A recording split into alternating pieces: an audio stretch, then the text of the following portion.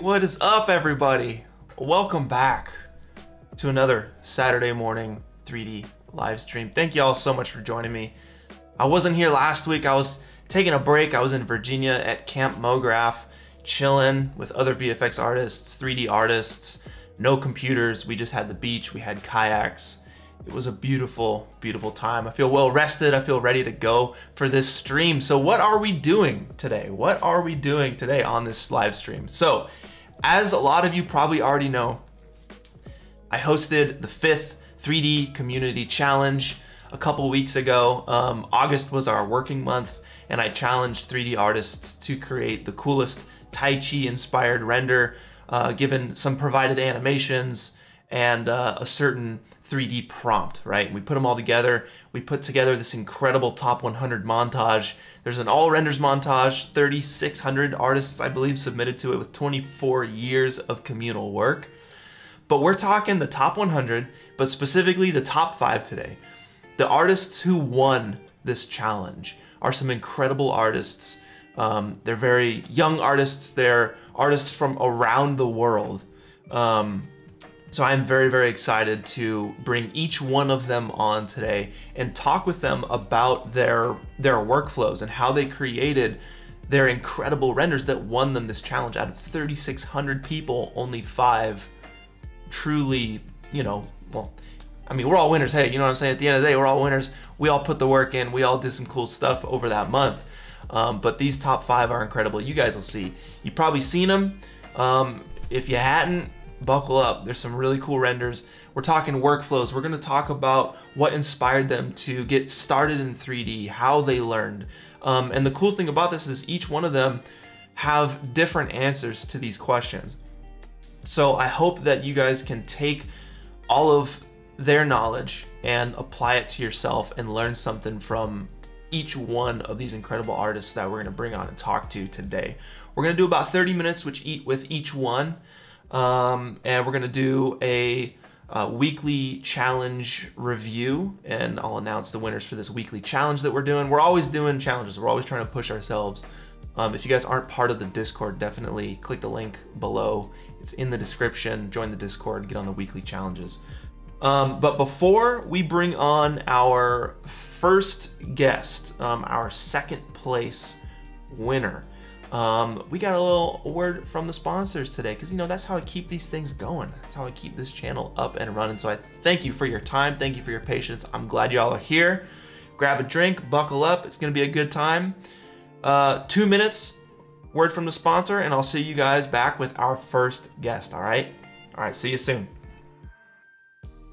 Today's sponsor is an interesting one, but a very important one for men out there experiencing hair loss. Two out of three men will experience male pattern baldness by the age of 35 and signs of hair loss can creep in as early as 20. Unfortunately, it is a thing that most of us will have to deal with, but lucky for us, Keeps is the sponsor of today's video. Keeps is a subscription-based service that helps men keep their hair. Their treatments are clinically proven and research-backed, of course, and delivered straight to your door at about half the price of a traditional pharmacy. Each personalized treatment plan comes with a full year of unlimited messaging and individual support. From Keeps' vast network of expert medical advisors, prescribers, and care specialists who will help you select the right product for your specific situation. Keeps also offers an award-winning all-natural shampoo and conditioner to keep your head fresh on the daily. So whether you're looking to prevent hair loss, stimulate hair growth, or just take better care of the hair that you have, Keeps has got you covered. To get 50% off your first order, go to keeps.com slash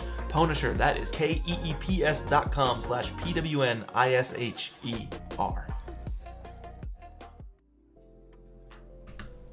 Yo, what is hey, what's up? up? Hey, how you doing? Yeah, I'm doing great, man. What about you? Oh, I'm chilling, man. I'm chilling. It's a good time. We got your beautiful I, art playing here, crushing it. I can't believe that I'm here, like with Pwnisher, the the Pwnisher. Like, That's the Pwnisher. the YouTube YouTube legend. Dude, it was funny, man. One time we were playing airsoft, and like it was me, Sam, and Nico, and we were like loading out our gear and stuff, and uh, there was these little kids like off to the right in the other corner of this like staging room, and they start they were like whispering amongst themselves and I was like, "Oh, excuse me" to one of the kids cuz I was like moving by and his friend was like, "That's the Pwnisher you're talking to." I was like, "Did he just say that? What the heck?" That's so weird. Uh, Anyway, man, we're, we're here about you today, man. Um, can you introduce yourself and where where are you from as well? Okay. So my name is Suparno. Uh, my actual name, like my actual name is Suparno, but my nickname is Zeus. Uh, actually, the Zeus name comes from uh, the game Age of Mythology. If you have played it, uh, I really love that game. Like I used to play it with the god Zeus all the time. So I just uh, inherited that name from him, I guess. and uh, okay, so I am from Kolkata, uh, Kolkata, West Bengal, India. So it's uh, called the City of Joy, basically. It's a lovely city uh, in the eastern part of India, and there the, I was I have been whole my there my whole life. So uh, and now I'm just uh, creating 3D art, you know. But uh, so my journey, right? So I actually am an engineer. So I'm an IT engineer. Uh, I actually uh, studied bachelor's in information technology, and after that, I actually got a job as well. But uh, I actually did not take the job. I thought that taking up a job would just mean like ending my creativity. To be honest, Oh man, okay, so that's Uh, huge right there. How so? How many years did you go to school? uh, so uh, I uh, so 12 so class 12 so basically 15 years right there and then after that uh, uh, I had four years of uh, college so Oh boy. yeah. So Okay, about so 19 about 19 to 20 years yeah oh my god, how old are you? I'm 26 Okay, okay. What Yeah. did your parents think? Like, what what did you have to tell your parents? Were they cool with that? Like, I'm sure you know that's tough. I'm sure a lot of people relate to you as well right now. so yeah it's a fun story like i was actually gaming during my college years. So about four years i uh, used to game a lot and i really became good at one game in particular. So that was dota 2 i know Oh, one yeah. of the mods also played uh, also plays uh, mdk he plays dota dota 2 That's awesome. yeah so so yeah i actually became like uh, you can say a professional literally because i used to just play uh, that game all day long during Shoot. my college years Okay, okay. and so i uh, reached around top 300 in southeast asia in that game Dang. and then uh, i i like i already participated in a lot of tournaments during the years like 2015 to 2018 and when i graduated from college i thought that why not try and pursue this this as a career Hmm. so i uh, tried competitive gaming as a career you know for about two years i guess What, what did your And, uh, what, what did yeah, your I- family think of I this? Like, were they supportive of you, or were they like, eh? uh, my brother was really supportive. That's why i could continue. Otherwise it was not possible. Like they were absolutely not uh, with it at all. They were totally against it. You know india you just uh, become an engineer or doctor first and then you decide what to do with life That's the first step. It's like first you got to be a doctor or an engineer, and then we'll go from there. yeah yeah exactly That's crazy. So, So, yeah. you you know, it's I I think it's similar. A lot of us 3D artists are into, are are gamers ourselves, um, myself included. Yes. I, I have loved games ever since. I think my the first time I touched a game was the Game Boy Color. Uh, I remember like in church, one of the one of the kids had a Game Boy Color, and I was like, oh, and then I think I got one like close to that point, and I just remember playing like Army Men games and uh, Mario Kart, and eventually got PlayStation One, and of course it went all the way to the point. You know, we're at PlayStation Five now, which is insane. But yeah a lot of that inspiration comes al- from games too. Yeah. I also wanted a Game Boy, but yeah, I uh, couldn't afford it at that point, and my parents didn't want to give it to me. So yeah, I just For had sure. to settle for a PC. I didn't really get a console anytime. So all my life, I have been a PC gamer. That's awesome. Yeah, same. My dad, like, he would he, one of his hobbies was building computers and stuff, and he kind of taught me a little bit about it. Um, so we always had like he was always gaming in the house and stuff. And what what's cool is like when you have a pretty decent PC for games, that means you kind of have a decent PC for 3D. You know, yeah, exactly. they go Yeah, hand in hand. Um, so I gotta ask, all right, this what the art we're looking at right here, right? We did this challenge in August. You had a month to create this. Um, how long had you been working in 3D before uh, this art we're seeing right here? Oh, yeah. So I actually started 3D around uh, December 2020. So that's the first time I've opened up Blender. That's the first program I opened up in 3D. So fun story is that uh, I wouldn't have opened up 3D, but uh, in around December, my uh, previous PC, that is a GTX 1070 PC, that actually broke down. So I had to get a new one. So I thought, you know, uh, there's the new latest generation 3000 series cards, and let's just get the 3080. I just told my brother, maybe let's just try to uh, source it, finance it somehow, and Yeah. get it. Uh, so just for playing games, honestly, just Yeah. for playing games. Uh, and then I uh, got it, and then uh, suddenly I saw that there is a thing called 3D. I was actually doing some Photoshop work at that time, like photo manipulation hmm and then I was having a lot of trouble with uh, finding good source photos to use uh, for my photo manipulations. And I thought, let's just try 3D and maybe I can make my own assets and use them for photo manipulation. So that's where I really started. I started with the Blender Guru Donut tutorial. Oh donut man, one. that's the that's so many Uh, people. that's that's a classic. yeah. Yeah, I finished it around a week, in around a week, and then I got so tired of Blender. I was like, okay, that's it. Uh, I'm totally burnt out. Let's just go back to Photoshop with my old ways. And yeah, uh, I just gave Oh, up on 3D you. for about a month. I can't hear you. Yeah, hello. Yeah, Yeah. I got you. You're here, right? Yeah, yeah. Mhm, mhm. yeah so you got, you got uh, burnt out from Blender. Ye- yeah i got burned out totally and then i took a month break so uh, the break was uh, literally me working in photoshop just making photo manipulation images artworks like that Yeah. they were really bad you can even see them right now if you go down my instagram posts they're still there i don't want to remove them actually i just want no, to you got to remember where you came from. Yeah, you got to remember where you came from. yeah Um. yeah. So two and things. then in february i just uh okay what what I was gonna say that um, if for for those of you who want to follow um, uh, Suparno's work, it is linked in the description. I think I got your art station down there, but maybe that'll link to like other things, perhaps, um, or Zeus creates. Yeah. Go by Zeus creates as well.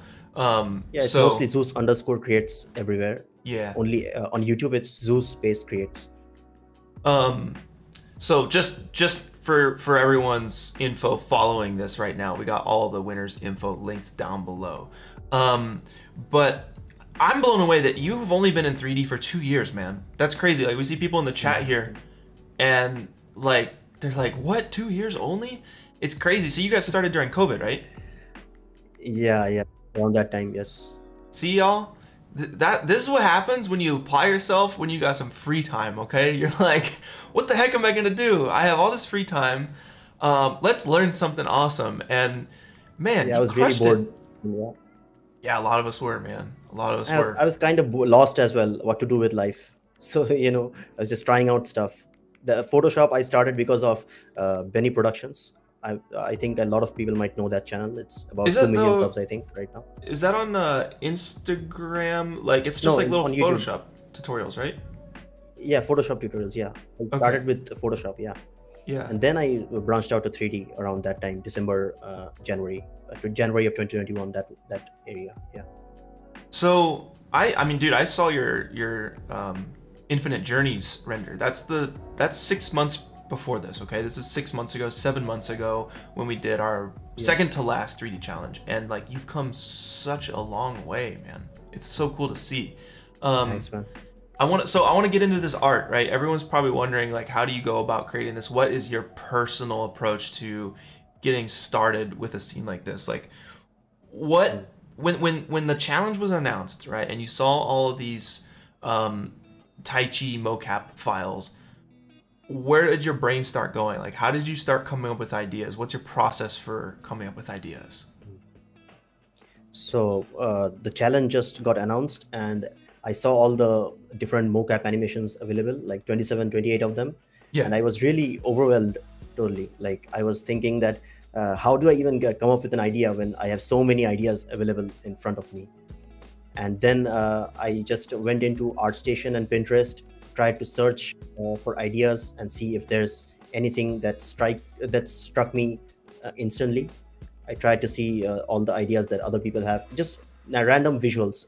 There's like no idea at that point. And then I was browsing even Discord, like what discussion people were having with each other, how were they thinking about the challenge. And then I uh, found out about Prismal. So I wanted to give him a shout out here as well. Uh, he actually helped me a lot in this challenge, like a lot of feedback from him. Uh, it wouldn't have been possible without him, to be honest. His feedback was invaluable to me. Wow, So, that's awesome, uh, man. Shout outs. Yeah. So uh, I uh, went into his art station and then I saw his uh, Coco breakdown. By the way, I can show it right now if you want. Yeah, His switch over. Coco breakdown. Yeah, are you seeing it right now? Mm-hmm. Mm-hmm. Yeah. So this is the breakdown that he made. So the ac- actual image that he made. This is not from the movie. The movie is down below, I think. Yeah. So this is this is his and this is the reference. Do you even Oh wow, the so it's like a difference? uh, uh, no, like it's, it looks like he was doing a study, right? Trying to study to see Yeah, yeah. to yeah, basically a recreate. study right? of yeah. the scene. Yeah, and this is where I got the idea of the attic from. I thought let's just watch the Oh. movie first, and then yeah, see how Pixar does their lighting and stuff. And from there, I got the idea of the attic. So I have also. Uh,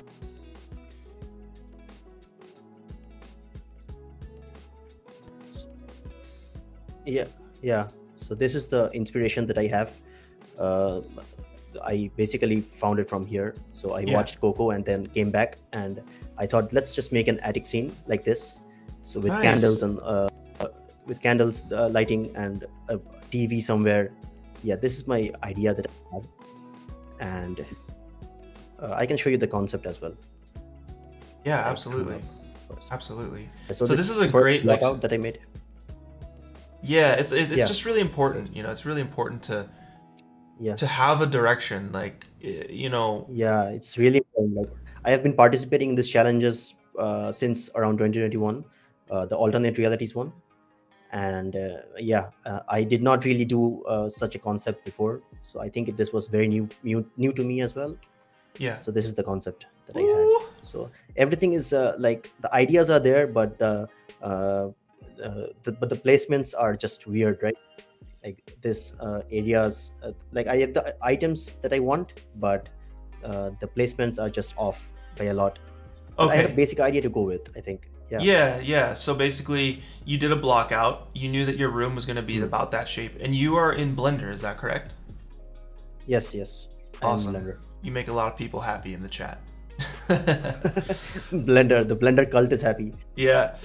So you did a block out. Um, you found your animation. You kind of got like Yeah. a basic lighting setup, and then you're going in Yeah. and you're going to Photoshop or whatever, and you're just kind Yeah, of sketching yeah, in Photoshop. Yes. ideas and exploring ideas. My and- sketching is really bad, but it does the job. You know. Yeah, I mean, just it for me, it's, no one yeah, will see it- Yeah. exactly, exactly. Yeah, this is basically my idea that I had at first, and uh, after that, I can show you the tests. Oh yeah, bring it on. Okay. This is the basic scene. Okay, this is the first. Uh, after the concept, I did this. Uh, I just uh, put put on put some other objects in the scene and tried to see how the scene will look with these. And then I went ahead and even refined it further. Just you can see uh, everything just changing image by image. Yeah. I just put in some random images here. I think I got it from Envato Elements and just tried to see if these work. And then after that, I tried some different lighting as well. Yeah you can see the TV, uh, the backlit TV. This is basically the same as Coco Mhm. uh, in my reference. Can you hear me? Yeah. mm-hmm. Yeah. Can you hear me? Yeah, yeah, yeah. You got. Yeah. I think uh, I got lost you. Yeah. I got you. Okay so after that um, i just keep going and adding details and just refining the lighting further and further. You can see just uh, in this one it's just backlit. I was Mm. thinking of going the same direction as coco that they had in the scene. Just a bit uh, bigger scene not as cramped as that one. So you're and like I just keep it's it's tough what you're doing because like to to really build out your scene, you just have to add a ton of stuff, and it's not gonna feel Yeah. right and filled in until you have a Yeah. ton of stuff. It's gonna feel empty, like for so Yeah, long. like exactly. how how long did your scene feel empty before you knew like okay this is this is it feeling was- nice. it was very long like it was uh, always looking empty i was always thinking like what sort of stuff can i add so that it looks better uh, it's basically set dressing. So i had to think of a lot of stuff. I had to basically think that uh, how, what does the kid do? What does the kid have? What does his parents have in the attic? Uh, what are his ambitions? What are his uh, current interests? These are the questions that you need to ask yourself. So i've also written these in the same uh, in this art station breakdown uh, dressing part. I think it's down here somewhere. Um, It's a beautiful breakdown too. If you guys have a chance to take a look at it after after the stream here, like or you know just pull it up alongside, it's like it's really well. if I miss it's something, it's probably here. yeah. If I miss something here, yeah, you can see just uh, just go through this breakdown. It's mostly here. I think that's a great thing to So touch on though is like character and how character can build out your scene and your story. And you have to ask yourself like, yeah, what is this character into? If you're putting together like a character's bedroom or in this case a character's attic, you have to put stuff up there that you know fits the character. And if it just seems like a bunch of random stuff, you know, you're going to miss out. So keep going, please. Yeah, I'm so interested in like Yeah, yeah, in this yeah. process. Yeah. Yeah. So yeah, I am just uh, adding random stuff here, just trying to uh, figure out what works and what doesn't. Mhm. Uh, you can see the desk behind the character. This is very small right now. it's like the scale is totally off. Mm. right now. So uh, these are the things that uh, even Prismal pointed out to me. So this is why it's very important to get some feedback from others, because you can always miss stuff like this, like the scale being off or some random light not working. Uh, these are the bigger picture things. I think you uh, need help with sometimes. When you're working with a big project, sometimes you just uh, miss these stuff. So uh, always try to get someone to get someone to look at your stuff. So you can see the the uh, table looks so weird, right? It looks like a table for I don't know for dwarfs maybe. Yeah. I don't know. Yeah. So after that, you can see these chair and the stool that I have. They are too big for the scene, but I was just way too focused on trying to correct the lighting. I didn't really pay attention to them. But slowly and slowly, the scene developed. I tried different lighting, uh, different types of lighting, Mhm. and then yeah this is uh, the place where it's all coming together almost uh, the lighting is at least uh, yeah i thought that the tv was not working in the background so Hmm. i just placed it to the right It's nice. because yeah, uh, it frames it kind of frames yeah the character. it, it just yeah it just looks uh, it just takes away attention i think that in this one like if the tv is just behind him it's just a bit too distracting so that's why i uh, put it to the right here good just move. balances it out as well yeah, yeah. yeah i tried some different lighting from the tv uh, this purple lighting was not working i just tried it in case it worked a lot of trial and error at this point really I think like, that's good though, because like to, to to touch on what you said about trying that purple, but it totally didn't work. Like the, but what if it did, right? So you you would never Yeah, know if it works or not unless you try it. And I think one thing that's very important here with with all of our art is that if you have a goal in mind, and I think I've talked about this before, but you have a clear direction from the beginning, right? You had your attic scene, you had the Coco style, um, you know, set up, and um, you you have a pretty good idea of where you're going. And if you head in that direction and you blindly go in that direction, like you might be missing all of these awesome turnoffs that will make your art Yes. so much cooler in the end. And there's no way to like discover those awesome turnoffs. Um, well, turnoffs is probably not the best word to use, but you know what I'm saying. Like it's an alternate path, right? yeah yeah Um, exactly you have to try it. So so much of 3D is trial and error. So it's cool to see you doing that here as you're creating. You're seeing what works, what doesn't, and you're just you know feeling out the vibe the whole time. yeah it's like happy little accidents you know like bob ross says hmm you have to do uh, do stuff and sometimes there are happy little accidents along the way uh I want to ask about lighting eventually, yeah yeah but I'll keep to it. going. Yeah, keep going. Yeah. yeah Okay, so this is the Zen table that I added. Uh, I thought that this character's feet was sliding a bit, and I didn't really want to go through the effort of fixing it, so I just added this. Uh, it worked to the scene, I think. that's well. perfect. Yeah, that's some, perfect. Yeah, it's a very uh, dirty fix, but it's it works, I guess. Yeah. Absolutely. Also, by the way, TV the TV is actually a model from an image. I have shown it here as well. Uh, where is it? Yeah, this is the image and i just used mm. uh, ian hubert's technique that is image plane modeling oh yeah so good this is the final tv yeah i didn't want to waste time on this like modeling it perfectly since it's a background asset so i just modeled it together very fast it looks perfect man like it's such a yeah such a great technique man. Thank thank god for ian hubert. I think all of us can say yeah exactly exactly. Okay so i'll just quickly go through these. Yeah. Uh, we got another 15 minutes or so. Yeah, yeah, yeah, yeah. So I uh, added this as well, the secret dojo thing uh, as a Torii gate. This was my plan all along to add uh, a sort of Torii gate to unite the foreground and background, foreground and midground, uh, so that when the camera moves back, you just see this thing. It just adds a layer of depth, I guess. That's why I added it. Totally, and there's some story in there too. Yeah, yeah, yeah, exactly. Then I just kept adding stuff trying different basically adding lots of stuff right now there's there's not much to talk about i added my old art here as well like my alternate reality center the infinite journeys the uh, what is this uh, the dynamic machines one oh my god those were just easter eggs that's the, awesome yeah the easter eggs yeah. So this is where the test renders end. I have more i think. This is a character test. How long did you spend on the character versus the environment? Um, character i think i this challenge i think i uh, um, finished the character very early because i thought that last uh, challenge i left it for too late.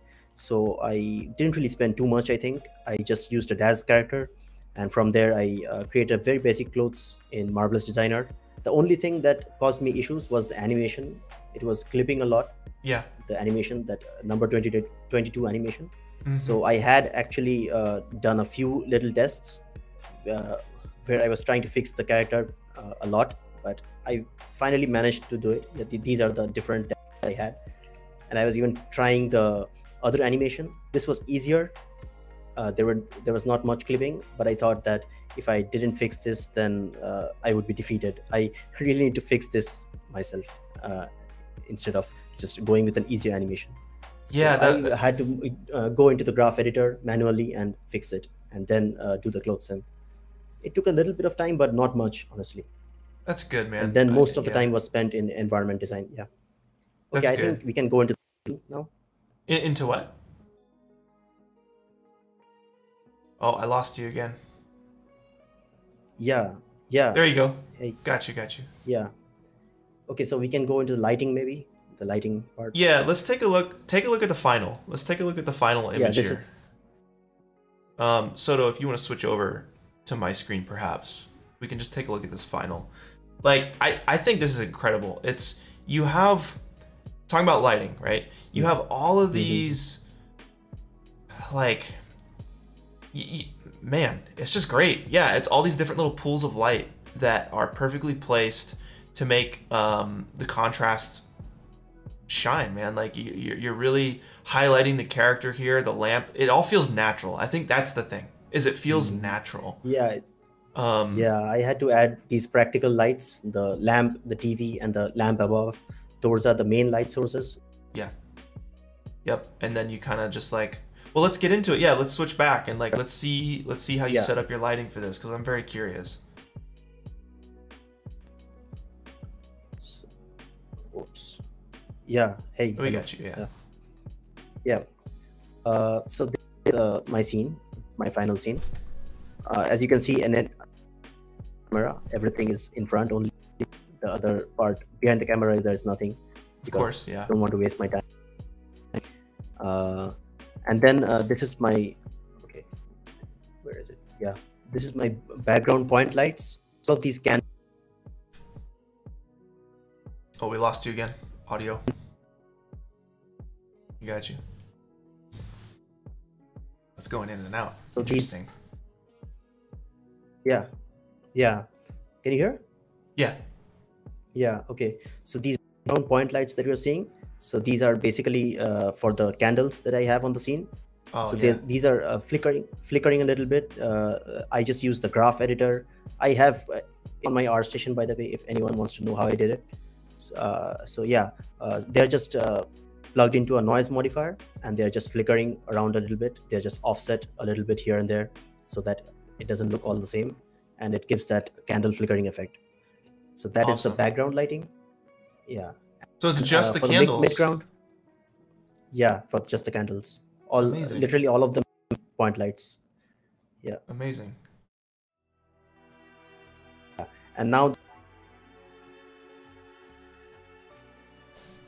left. Okay, I just the scene. Uh, and, and these are some Awesome. rim lights that I added. These are some. Yeah. Hello. Can't hear you. Hello? I don't know what it is. Yeah. Can you hear me? I got nothing. No, I can't hear. Yeah. Can, can you hear me now? Oh, well, if I can't hear him, I can't. I got I got Sotomonte. okay. I got Sotomonte in one ear. I got Zeus creates in another ear. Okay. So I, I can't Okay. hear it this. Yeah, I'm, I've lost you, bud. I can't hear you. Mm. I still got nothing.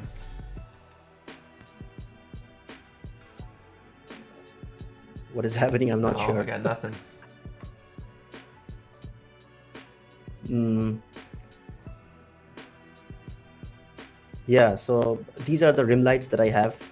Uh, this this lamp is actually doing a light source. Yeah, yeah.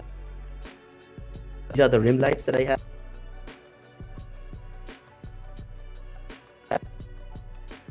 It's not happening. Can you guys hear him in the stream?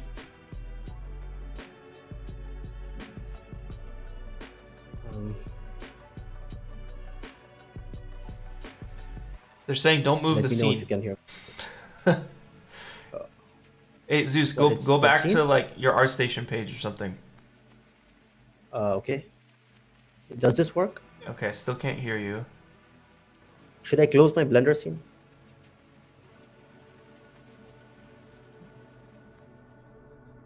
Uh, okay.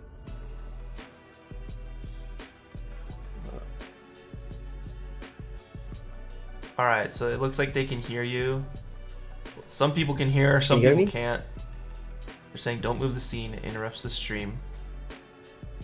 Should, should I, should I just close the screen? I guess? RAM. I'll- It's yeah, hungry. just close it.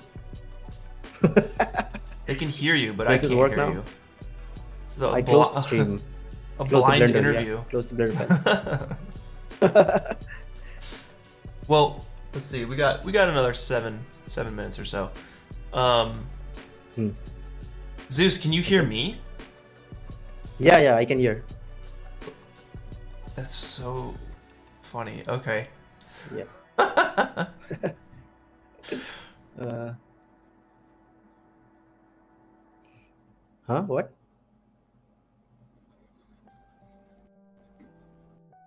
Dude, this is hilarious. Where is it? On the screen. On the screen? Oh yeah.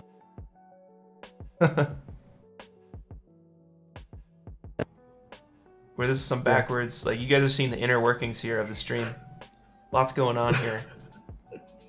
Yeah. All right, so what's Some going on? Can, so, are, Sotomonte, are you going to translate into my ear? I'm hearing So I can just go through this, I guess. Soto, I don't need to go to my. Blender scene.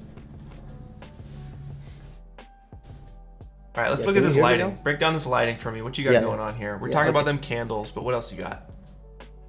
Yeah, and then the mid ground, see a lots of area lights around the lamp and the main lamp as well. So uh, those are just uh, lighting up the entire mid ground section. uh, I have this uh, area here. See, uh, carotid and dog lighting, rims with practical lights accentuated by fake lights. So these are basically fake lights. Uh, the lamp is doing nothing, but the fake lights are the one that is lighting this uh, mid-ground area, to be honest.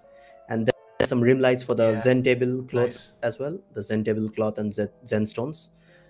Um, and uh, there are some more point lights for the mid-ground bulb uh, wooden uh, I'm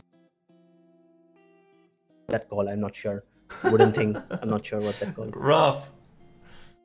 yeah so and then uh, here are the point lights uh, there are just tiny bulbs just tiny uh, point lights for those tiny bulbs near the torii gate that I have. And then there is an entire uh, fill light for for, the the entire lights, scene, little tiny just so that point lights. everything yeah. And then uh, i have this fill light for the entire scene so that everything just doesn't go to uh, uh, just go to every just so that everything just doesn't go to the black uh, section. So that uh, i have some level of um, what to what to say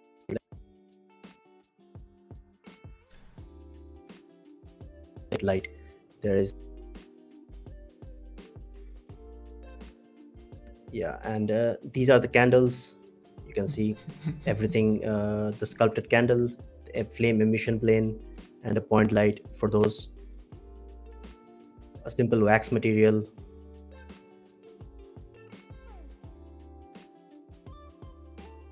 Show it but i'm not gonna risk it if uh, yeah if uh, the stream crashes or something yeah so this is the uh, layer stack i think you can see it i'm not sure yeah it it doesn't doesn't zoom in so this is the uh, main raw render that i had and this is the compositing Hey, Zeus, see Uh, if you can close render. Blender. Try closing Blender. okay yeah all right i closed it now is that any better Nah, still nothing. It's okay. All right, so here we're gonna have to do the the this blind interview. We're gonna wrap this up. We got two more minutes anyway. It's all good until we get our next guest. So, Okay.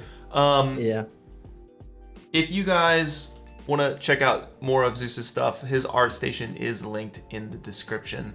Um, go check it out. Dig into this breakdown. He's obviously, as you can see, got a lot of cool stuff, a lot of detail that went into this breakdown. Um, congratulations again, man. Thank you so much for for coming on and doing Thanks, this, man. and for second place. That's it's been an honor freaking huge, man. You've come such a long way. Absolutely, man. Yeah. Yeah. you've come such a long way since all of these challenges. You've been doing every single one of these challenges, and like it's so cool to see you progress through each one of those. Um, even through the weekly challenges, It- it's such a freaking awesome, cool thing to see. So thank you, thank you, thank you so much yeah thank for you so doing much. this, for putting the work together. thank you for this, doing these joining me, challenges thank you for doing these challenges honestly Absolutely, these are absolutely. I will talk to you soon, but uh, guys, we're gonna hit our next uh, artist here. okay See ya um, then. Coming up. Thank you, Zeus. Appreciate you, man. Yeah. Good stuff. Later. all right goodbye Bye bye. Who's this? Who? Who do we got? Dimitri, where you at? Hi, Dimitri? I'm here. You're here. Hello. Yep. Uh, uh, levels peaking. I see red. Let me get a little audio test, Dimitri. Um, hello. Yeah. What's Everything up? fine? Uh, we'll get Um, there. We'll get there. Yeah, welcome. um, let me get your art pulled up on the screen here for you, um, because it is some incredible. I can incredible also open it myself. I have it prepared. Um, Dimitri, hey man, welcome. Congratulations. How are you doing today? Um, I'm doing good. Awesome, man. Awesome, awesome. Um, congratulations. Your art, freaking so nice, man. You got uh, third place in the challenge. Um, the infinite, not infinite journeys. What am I saying? The Moving Meditations 3D challenge. Absolutely beautiful scene. I love the darkness of it. I love like the the design elements going on here. These 2D elements. Um, hmm sunburst Thanks. back here very very filmic man so let me let me start with uh how did you get started in 3D? Like, um, can you tell me a little bit about yourself, a little bit of background for everyone here? Well, I started started learning 3D like only two years ago, but before that, I actually was always interested in filmmaking. So I already had experience before that. Uh, I was like, I always like to see a movie first, and then to see a like BTS breakdown of all the scenes, how they set up a green screen, and how they explain how they did all the shots and VFX. It was always uh, super interesting for me, even like since my childhood. And originally, I started doing some simple um, videos with my friends uh, in Windows Movie Maker. Then I switched Yes. to uh, to Sony Vegas, and then I started learning After Effects back when I was like 12, I think. It was like 10 years ago. So I, I already had some experience before, even before 3D. Uh, so yeah, it was a little easier to get good-looking im- image from from Yeah. only two years of experience. I think um, we started very, very similarly. I started out filming little silly videos with my friends using Windows Movie Maker because Mhm. it is free. It comes with your computer, and um, Mhm. you know, I think being a fan of movies is you know like you have a background of references in your mind and you know Yeah. shots you know angles you know lighting you maybe don't know it know it but you can re- you can see it in your head you remember it from the movies that you saw and i think Mhm. you know having a a list uh, of of references like that watching a bunch of movies playing a bunch of games like are, are you a gamer at all are you playing any games Yeah, I, I play a lot of games. yeah see I- Um, yeah that's awesome My favorite games are mm, Dark Souls series, series, and you can probably see it in my artwork, the inspiration. What would you say? What games inspired this art, if any? Um, mostly it was Dark Souls and Bloodborne. Oh, dude, those are just some of the best masterpiece. Oh, man. Yeah, it's that lighting, Mm. man. That blue, dark lighting is incredible. So, you said you guys started two years ago, and what program are you in? I'm using Blender. More love for the blender. Yes, I love it, man. It, it makes sense. Like if you guys are starting uh, in 3D these days, like it's free, right? So it's the most accessible, I would say.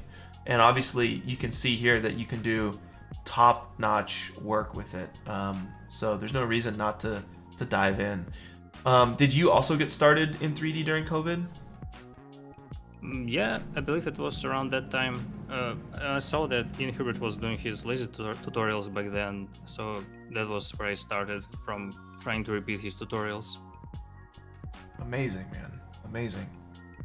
Did you have a group of friends in your area um, that you could like sync up with and show stuff with, or was it just more on the internet, more on like Discord? Yeah, I, I have a bunch of artists friends, and we always share knowledge with each other and uh, trying to learn Blender together. That's great, man. I think it's very important to have a network of people, of friends that can help push each other for this kind Mhm. of stuff. Um, all right, so let's get into it, man. Uh, once the challenge was announced, how did you go about coming up with an idea? Um, usually, I would try to find some references and maybe do a simple sketch, but this time the process was a little, um a little different. So here I can show you on my screen the first render I did from the um, for the render. Um, Yeah, we see. it. So- cool. I, I only knew that I wanted to make uh, some sort of desert scene in the night and with a big planet in the background. And the first idea I got from looking at all the animations was that I wanted to make some magic circles going on and like some runes behind the character. Uh, I just wanted to learn how to do magic VFX this time for the um, during this challenge. Mm, So okay. this was the very first uh, render from the scene that I got. Uh, it's really simple. The background mountains are just uh, made with default Blender add-on for creating landscapes. I don't Mhm. remember how it's called, but it was just for the like as a placeholder. So the first thing I did then was I decided to add the texture at least to the ground. So because I needed to start somewhere. So uh, for this texture, I used uh, textures from Quixel Megascans and mix a bunch of mud texture in Quixel Mixer to get this uh, texture that wouldn't look too r- repeated on the ground. But Yeah. then I pretty much covered everything with rocks, so you don't even see it in the final video. So, question: You right now at this point, you're you're kind of blocking out your lighting. You're blocking out your scene. hmm Are you working off of any reference? Do you have a reference board, or are you just off the top of your head on this? Uh, this time I didn't have any references, but usually I try to uh, figure the final figure the final image before I start, uh, and I try to imagine the final look of the image before I even start uh, doing it. But this time I was just kind of crea- creating uh, whatever ideas I get along the way. So So you're just Uh, kind of at this like point- free play kind of mode, just experimenting. yeah this time i didn't even know that i would add the ruins uh, in the scene i just didn't know how it will end up looking Yeah. at the end Wow. So you're truly just like flying free and coming up with what's cool. How many how many days like do you give yourself like okay, after X amount of days I got to be at a certain point in my render or were you, do you have a schedule for this or are you just like, you know, caution to the wind, I'm just going for it. actually i saw a tutorial for that in your discord server some i don't remember who posted the Connor, yeah, that's Connor. Yeah. Bad yeah I, I- I just used that to, to roughly imagine where i should be at, at the end of each week Amazing. Okay. Okay. Um, All right. So continue. I, yeah, this is awesome. Okay, so here I replace the mountains in the background with this uh, like weird pointy shapes, uh, which are kind of flat on top. To make those, I used uh, a program called Gaea. Gaea. I don't know how, how it's pronounced, but Gaea, this one. Uh, it's a program where you can generate uh, landscapes uh, really easily from noise, and I just used the default preset for this kind of desert-looking hill, and change the, the the settings a bunch of times to get different looking mountains. Oh, and nice. here I was just adding more and more mountains, and at this point, uh, what I'm trying to get is I'm looking at leading lines. I'm already sta- starting to think about uh, composition. Right here, you can see that the biggest mountains are on the sides, and as I get closer to the middle, they are getting smaller. So you get kind of those diagonal lines towards the character, which lead your eye towards the center of the image. And I will repeat the same thing all over uh, again uh, during later steps uh, with even smaller assets. So here I was just messing with the roughness of the ground and with light. Uh, I specifically made the mud uh, a little more shiny as they usually light like uh, uh, night scenes in the movie, you know, like how they would wet so it Mhm. would uh, reflect the lighting and It just looks way cooler that image- way. yeah, yeah. That was uh, what I was trying to make here. So right here, I didn't know what to add on the sides, uh, and it looked really empty and boring at this point. So I added a couple of hills on sides, and they also create those leading lines toward the center. They kind of create this visual vignette on screen. Yeah, Um, I've, I've found that that's like a really nice way to. Well, of course, right. When we talk about vignettes, we're talking about just darkening the edges of the frame to kind of draw the eye to the center of the photo or the or Hmm. the image, right? And you could do that. You, I mean, I do it on pretty much every single one of my renders. Is I'll crank the vignette so it really focuses it on the center composition.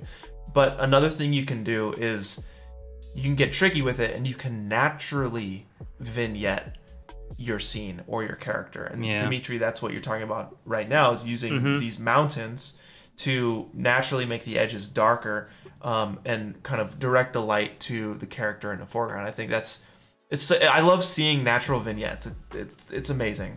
It's so nice. Mm-hmm. And they also make the composition easy to understand. You just immediately immediately look at the image and see the main part of the image uh, when you're when you have a bunch of leading lines in the frame. So at this point, I added a bunch of these like wooden poles all over the scene. They kind of remind me remind me of medieval times, and you always see something like that in Dark Souls games. Uh, they are made just from Quixel Bridge assets uh, stuck together. Oh, okay. So you're And- kit bashing these things. They look really Yeah. nice. And those dudes, dudes are just uh, a zombie model from Mixamo. So yeah, nothing complicated. That's great. And here I here I was adding a bunch of trees in the background, and you don't even see them in the final image. Uh, uh, that's that, uh, that's my biggest problem. I always do a lot of work that that's unnecessary that I will hide in the final image, and it takes a lot of time to add those details. I need to figure out a better way of working someday. Oh man, you and I both like I, I yeah, I'm I'm a sucker for that. I really tried to avoid that on my last piece of art here for this challenge. Um cuz I remember during Infinite Journeys when I was making my like race car cockpit scene and I was modeling all these details and I, you know, I talk about the idea that I was kind of I was like running away from the work I knew that needed to be done that was kind of a little scary, namely the character, working on my character. Um, Mhm. and I was doing things that like were just fun for me, which was modeling um, and adding detail. But at the end, I just wasted so much time on it, um, and it it it really stopped me from pushing the art as far as it could have gone. So it's good that you recognize that. I think it's something that we're all trying to to work on. We want to work as efficiently as possible, obviously, and like you know, but sometimes when you're creating art, you know, efficiency isn't the first thing. You you can't just be efficient. You do need to like do some trial and error and and work on some stuff and see how things look. But I I think you know, you're talking about the trees here that you put all these trees in. Are the trees in this image right here or are they in the previous one? Mm, both here in, in the previous one. I just was moving them around. Yeah. Okay, so you got some shrubs, you got some like trees in the far back. I mean, they look really nice. I think if I was at your point in the process, like I would I would have thought those trees are awesome and they do look awesome. I would just keep going on on the process here. So, at this point in your process, you're building it out, you're finding your scene. How do Mhm. you how do you feel about it right now? If you can imagine yourself a month and a half ago Um, at this point in the process.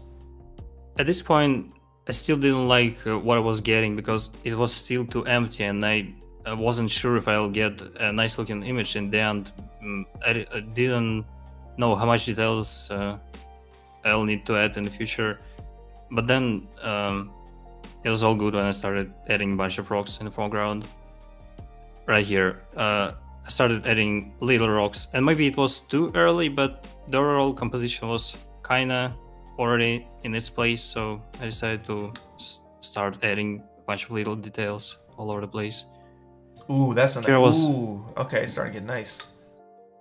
Yeah, I was just adding more and more rocks all over the place. Mm. Those are all from Quixel Bridge. Oh, And even here, I'm still trying to maintain the leading lines on the sides. Even though I'm covering the hill, I'm still trying to make this diagonal line, uh, line be visible. And Dude. here, I simplify the shape of the mountain so it would uh, both look giant and also would create a really simple shape uh, with a leading lines, line toward uh, the center.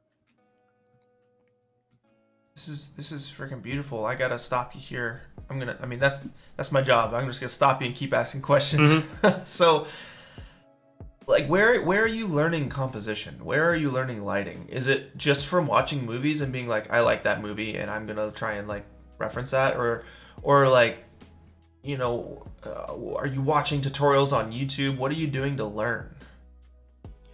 Uh, I'm watching tutorials on YouTube, and also before I started doing 3D, I started learning concept art and how to like draw in 2D in Photoshop. So I was watching a lot of tutorials about that, about drawing and doing concept art in general. So that was where I learned a lot more about uh, composition and the color theory in general.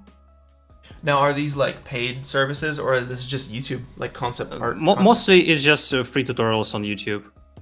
That's actually a really nice idea. Is is watching tutorials on concept design, concept art, environmental concept art. I never even Mhm. thought of that because I just assumed like I know what I know, and what I know is good enough when it comes to composition. Like I know some tricks, but of course we're all trying to learn and grow our bag of tools, right? So that's not a bad idea. Is to dive into some concept, environmental concept tutorials. That's pretty sweet. Might have to do that. But Okay, continue, so- please. Yeah, I'm loving this. Um, here on the right side, I was getting this weird shape uh, with a bunch of mountains and didn't like it because it just seemed too broken down and random and ugly. I wanted to make to simplify it later, so uh, a bit later I'll change it to just one continuous shape of a mountain. Here I was just messing with some grass and adding more rocks. And then here you can see I'm still adding those leading lines. This rock is a little bigger and this one is smaller. Everything in the shot should make little leading lines towards the center. Hmm. And even here is this rock. Everything is purposeful, man. I love it. And this was where I added those like uh, sculptures or I, I don't know how to call them, just dead people made of stone. Dude, Uh, so powerful. It looks so good. Yeah. I, I don't remember where I got this uh, reference, but it just reminds me of Dark Souls, so so I decided to, to do it here. That's a good enough reason. Um, and even with those statues. uh, as you can see, I'm still making those leading lines towards the center, mm-hmm. and I'll shape them even more later. So here was Ooh, this where I decided that it has a lot of empty space uh, on top. So I wanted to make some simple structures with uh, really readable shapes, uh, like those arches. So I made just with the with the cubes Mm-hmm. uh, this thing first, and then I replaced it with uh, ruins made in 3DCoat. 3D code is uh, really useful for making uh, those kinds of these kinds of uh, ruins really quickly 3D and code. you pr- 3DCoat here i'll show you 3DCoat you can do everything the same in blender and in zbrush but i just don't know how to do it in there so i, I decided to learn a completely new program just to do ruins Amazing. but it works Amazing. Also i recorded a small demonstration um, yesterday. So to do uh, a simple assets like this for example this wall first thing you need to do find this tutorial 3 code basics for concept art by art of Jos Vega on youtube. It's one hour long and it explains everything you need to know everything um, like uh, everything you need to know about uh, basic tools to make the simplest assets in here and the second uh, thing you need to do is go to ArtStation and find ArcSpy profile. He has two really cool packs of stencils on uh, Marketplace. Stencils are these black and white textures that you can use to create a lot of details really quickly. Wow. This uh, whole wall of bricks was made just with a texture like this. So I overlay this um, image on top and just use a build tool. Uh, it just in one click, I create uh, a lot of details like this just from a texture. Heck yeah. And this is uh, uh, that's why the 3DCoat is really powerful. Uh, you can create really detailed assets really quickly. Here I'm overlaying this uh, like mud or rocky texture on top, and in a couple of clicks I'm adding a lot of details all over the place. That's awesome. And then I would uh, export this model to Blender, 3D, and or I mean UV um, unwrap it, uh, with just uh, default tools like Smart UV Project, and then then I would import it to Substance Painter and just uh, mess with uh, smart materials a little bit. And in just a couple of clicks, I'll get this really cool looking detailed asset. And then I'll just uh, import all the textures in Blender. And here, only like in 20 minutes yesterday, I made this wall. So yeah, uh, 3DCoat is really powerful for creating Sweet. such stuff. Thank you. Yeah, good to know. So that's how you're doing the stuff on the left and the right. These Yeah. walls, architectural little bits. Sweet. Okay. So then I was just uh, some more details. Also, I added, this like circle uh, stuff um, right here. I just wanted to make this feel, uh, uh, make this place feel like a some old temple. So I'm adding more uh, elements to the ground, like this one. And here I'm added a bunch of tiles and put them on the sides and also you can see here that I put the guys in a really simple arrow shape there that uh, which is pointing to the center and so is here on the right side. And that was almost everything for the 3d part. Here's just a matte painting in the background. For the character i just used the um, character model I already had on my PC for from a from an old project which we were working on with my friend. So I didn't do much stuff for the uh, character this time. Only simulated the clothes uh, in Marvelous Designer. Mm. Okay, Okay. for so for the matte painting, here I'll show you. This was the matte painting I made in Photoshop. Mm. I just rendered the, the very first uh, frame of the sequence and painted on top of it. Mm, You painted. Wait, how did you do those clouds? Was that a brush or is that just like? Uh, clouds is just hand painted. It took the whole day to paint this thing with uh, different brushes, What? but You painted Yeah. those? yeah, Good God. Dude, it looks. that's why so you need to start from uh, learning how to draw just to do matte paintings. What the heck? Wow. What about the sky? Is that HDRI or did you paint that too? Um, I, um, before that, you can see here. This guy was just an HDRI I had on my PC, and I just kind of ref- referenced it in terms of in, in terms of color to make this one. Here, it just it was just a solid layer for the background with uh, star stars photo correlate on top Uh huh. and ah, f- uh, also for the reference, I used these shots from Aladdin, uh, these uh, concept arts. I really like the color and the how they light the night scene. So I was referencing that for the matte painting. Yeah, it's beautiful. I love your scene. Like, I would love to explore this world.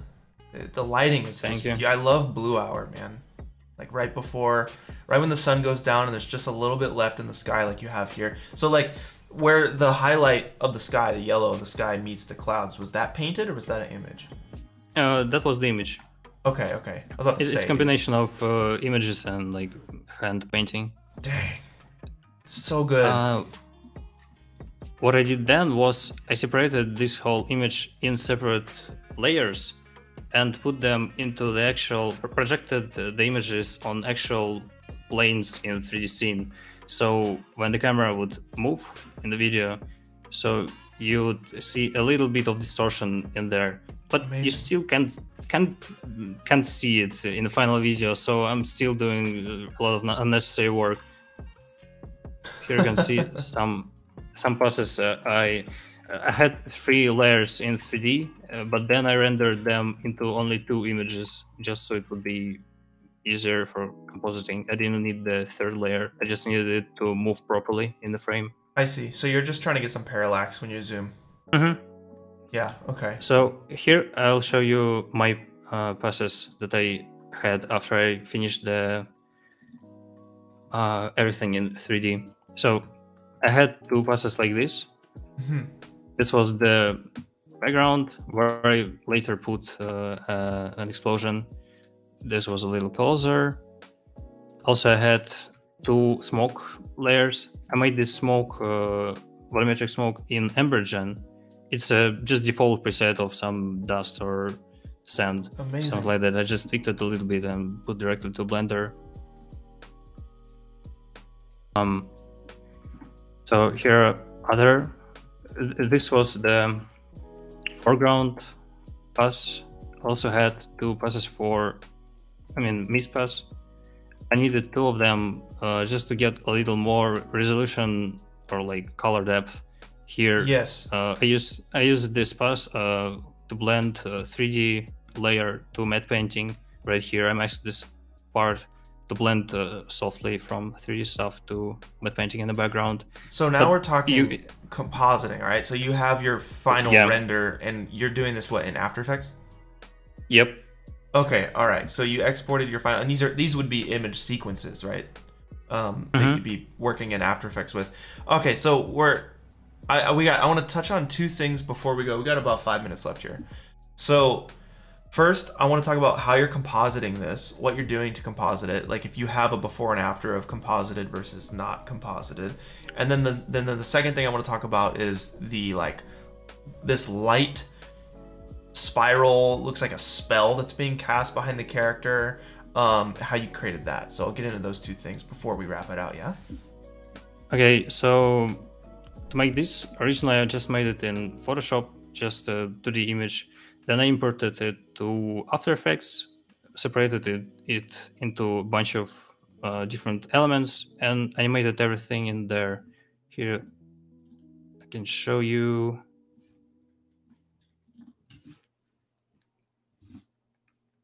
Uh, so I just animated it in After Effects first. Here's the project. I added uh, Yes. noise to just to give more details in here, so sick and I did the whole animation in here. oh so was this ever in 3d in blender or was this always in after effects Uh, then I rendered it into three different parts: the big circle, the smaller circles, and the runes of the circles, and put uh, them into actual 3D space in Blender, and uh, tracked it to the characters uh, back. So that extra Um, little bit of like parallax looks so nice man. Ah so good.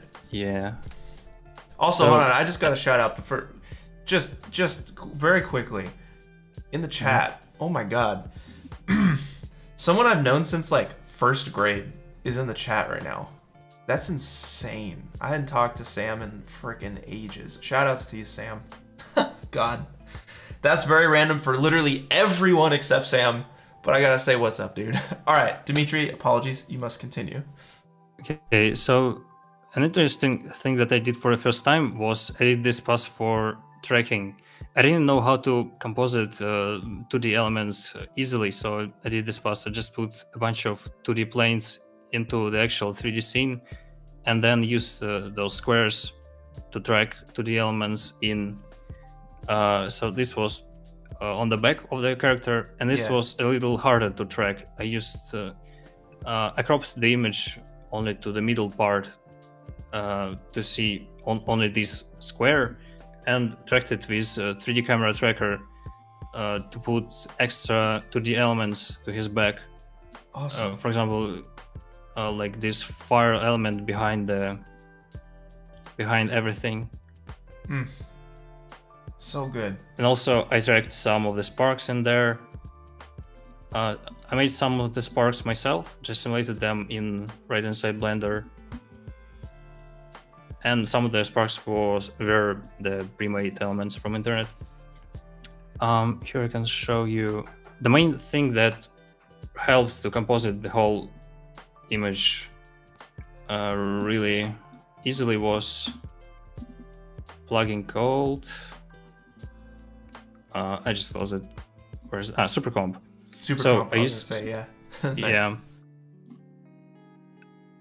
Um, I don't know where it's gone, but I just used uh, Supercomp to compose everything. It's really useful because when you use Supercomp for compositing, you can put something some glowing element in the background, and it will add light wrap on all of the top layers. So you'll see like, um, like right here, you can see the back, uh, background uh, element, uh, uh, like makes this glow on top of everything, uh, so it looks really realistic. It would look the same uh, way if you would shoot it with an actual camera. Oh man, that's huge. Um, Layer app is huge. You're talking Red Giant, right? Red Giant Super Comp. Yep. That's a good one. Absolutely. So we got about one. We got about one more minute for you, Dimitri. hmm Here's the smokes I added to the scene. They're all tracked to three different uh, parts of the scene, so they would move in the correct way. You would see Yes. actual movement of the camera, even between the smokes. This I is such a huge. This is such a huge part of the render process is compositing in you know it could be Fusion or After Effects, but that atmosphere layer you're doing right here, all this comp work that's going on is crucial to a render. Like it's not done once. It for me, for me at least, and it seems like for you as well. It's not done once you get it into After Effects or Fusion and you really start working on it. Is there is there a before and after that you can show like your raw, um, just like beauty image and then your final? Only like this right here. Okay. So here's the raw 3D render, and here's the final. Dang. So it changed quite a bit. And uh, the last thing I want to say is I couldn't quite figure out the color grade for this image because it was really uh, it was changing heavily between the first frame and the magic part. Mhm. So what I did was I did two color grades. First, I uh, put the sequence to the first frame, did uh, a color grade that would work for this frame. Then I switched to the part of the sequence where he casts magic and did another uh, grade. And then I just blended uh, between them with opacity. So it would start with one grade that works for the beginning and gradually uh, transition to another one. And yeah. that took a long, a lot of time to figure out. And the last uh, thing I did for color grade was I did this bleach bypass on top of everything. Bypass was just uh, um, grayscale uh, copy of the image overlaid with overlay mode on top. And uh, this is where I got this old movie aesthetic, really contrasting.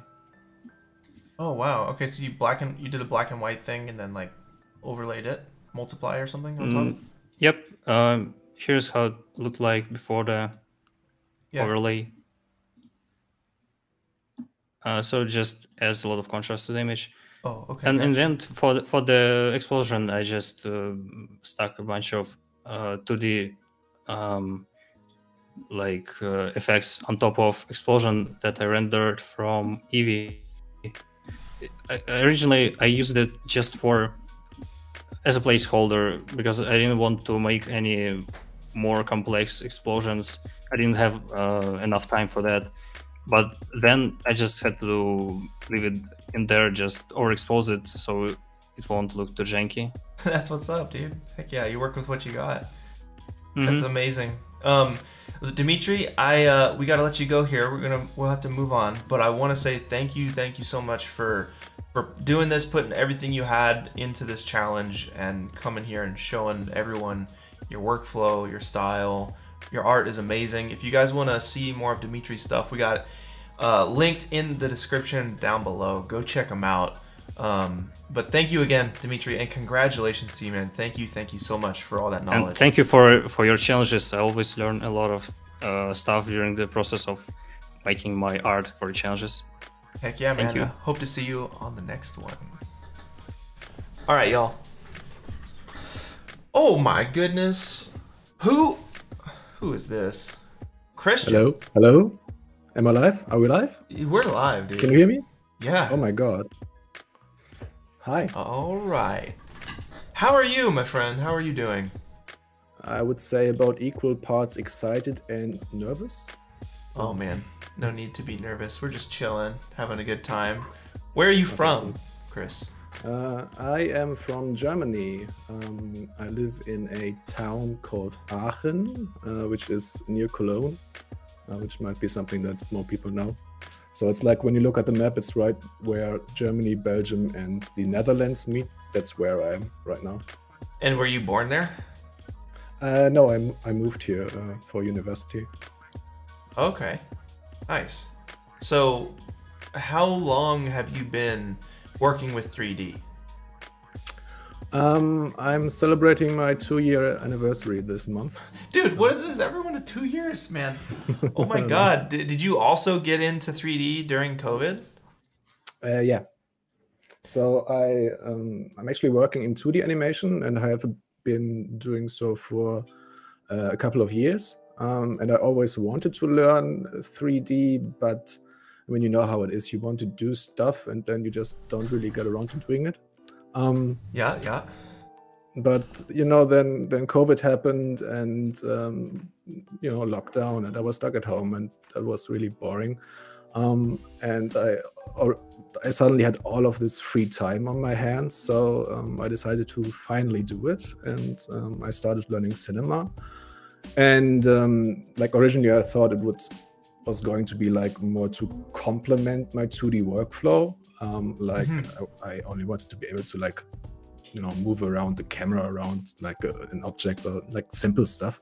Yeah. Um, but but then it kind of like I noticed it was like so much fun to do, and um, it kind of became this obsession, and I wanted to learn like more and more tools and, and more programs, and you know that's that's where I still am at. So What what was like what was the obsession for you? What was the most fun thing for you about 3D? oh, that's it's kind of everything I think. Like I enjoy doing characters, but I also like doing um, like environment art. Um, I love texturing. hmm like there's there's few f- things I don't like. Like I don't like weight painting or retopology, but No. that stuff like that has to be done. Oh, that stuff's brutal. I mean, but dude, it really shows here. Like you, you're hitting all of it. You got your textures, you got your character, you got your environment, and like, did you do any of the other challenges before this, or is this your first challenge? uh, no, that was my first one. So, Dang, um, man, I love it. It's like those the masks totally remind me of like Crash Bandicoot masks. Yeah. Um, and like, what what what's your reference for these characters? Like, Yeah, so I can show you a bit. Um, like, so I had like two main references um, for like the characters and actually the scene as a whole. Um, so I take a lot of uh, inspiration from video games, like I think a lot of people. yes, in this absolutely. field. Um, and like one of my major influences was um, the game Kena. Uh, came out last year, and it follows this um, character. Um, it's it's set in this mythical forest, and she's being followed around by these um, cute little um, spirit um, creature thingies, um, like these adorable little guys here. Yeah. Um, and also, oh, can't switch. Uh, the other major inspiration were like the um, Oh, The Koroks guys. the- yeah. yeah in the Zelda series, um, which are also these like kind of um, spirit like like forest spirit creatures. I can Um, hear sorry, the those, sound those of them like popping up right now. Yeah. The- yeah, yeah exactly. That's great. All right, man. Yeah, I, I definitely get that vibe from your render. Um, it's very cartoony. It's very vibrant. Um, it's whimsical and fun. So you nailed it in terms of like capturing your. Can you go back to your PRF board, real quick? Yeah, sure. Um, like that's just screenshots of that. Yeah, that's fine. Um, is that a language on the right? What is what is that? Oh yeah, that's actually um, so I have in the background, like you can't even see it in the final rendering. Um, let me see if I can bring it up somewhere. Um, so like, let me open this. So like in the very back, there's like these obelisks here, and I etched a bit of like um, writing on it, and you can't see it like at all. Yeah, I totally Um, can't see it. This is kind of like this is there's there actually is some some text on it, and it says uh, it translates to it translates to "I am Groot." Okay, Um, so right. it's like just just a very stupid uh, kind of like Easter egg. And these um, this this alphabet uh, comes from the game Tunic. Oh, Um, dude, I'm playing that right now. That's crazy. That's awesome. So um, so yeah, there's this the text that you find in the game it actually translates to something. That's great. Yeah, just like Stray. I know they have like their own language in that game, and Yeah. it like same thing. You know, a sign equals A, another one equals B. You know. Yeah, kind of like that.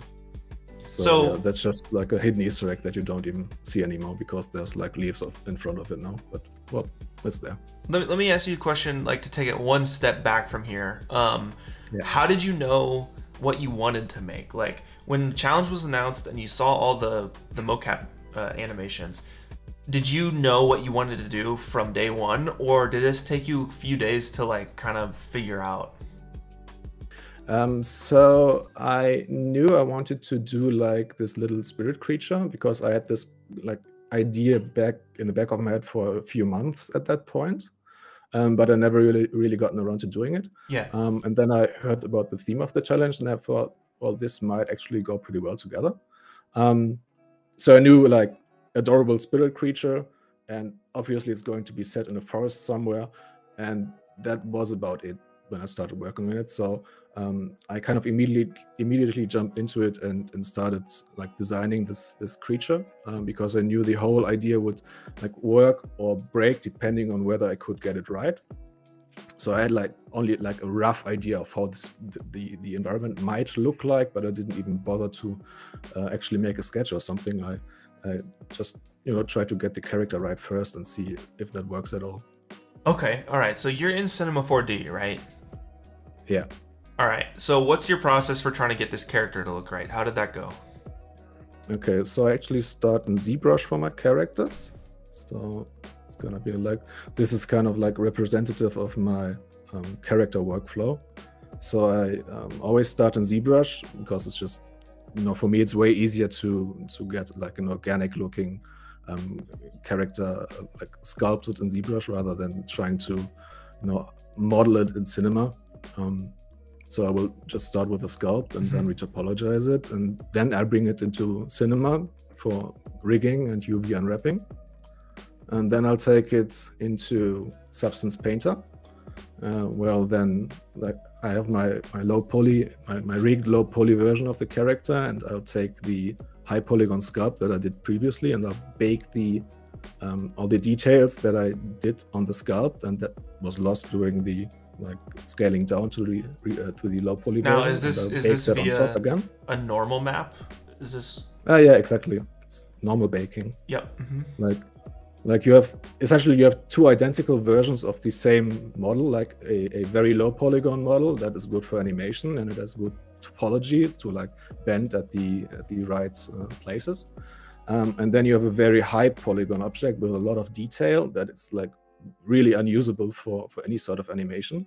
And then you kind of project all of that detail onto the low poly version, and then all those details they exist in the um, texture uh, maps. Um, so you get a lot of that detail back, but without actually adding any more um, um, geometry to it. Yeah. So like, I mean, I, I know they do this in in video games a lot because they need as much Mhm. performance as possible, right? So Exactly.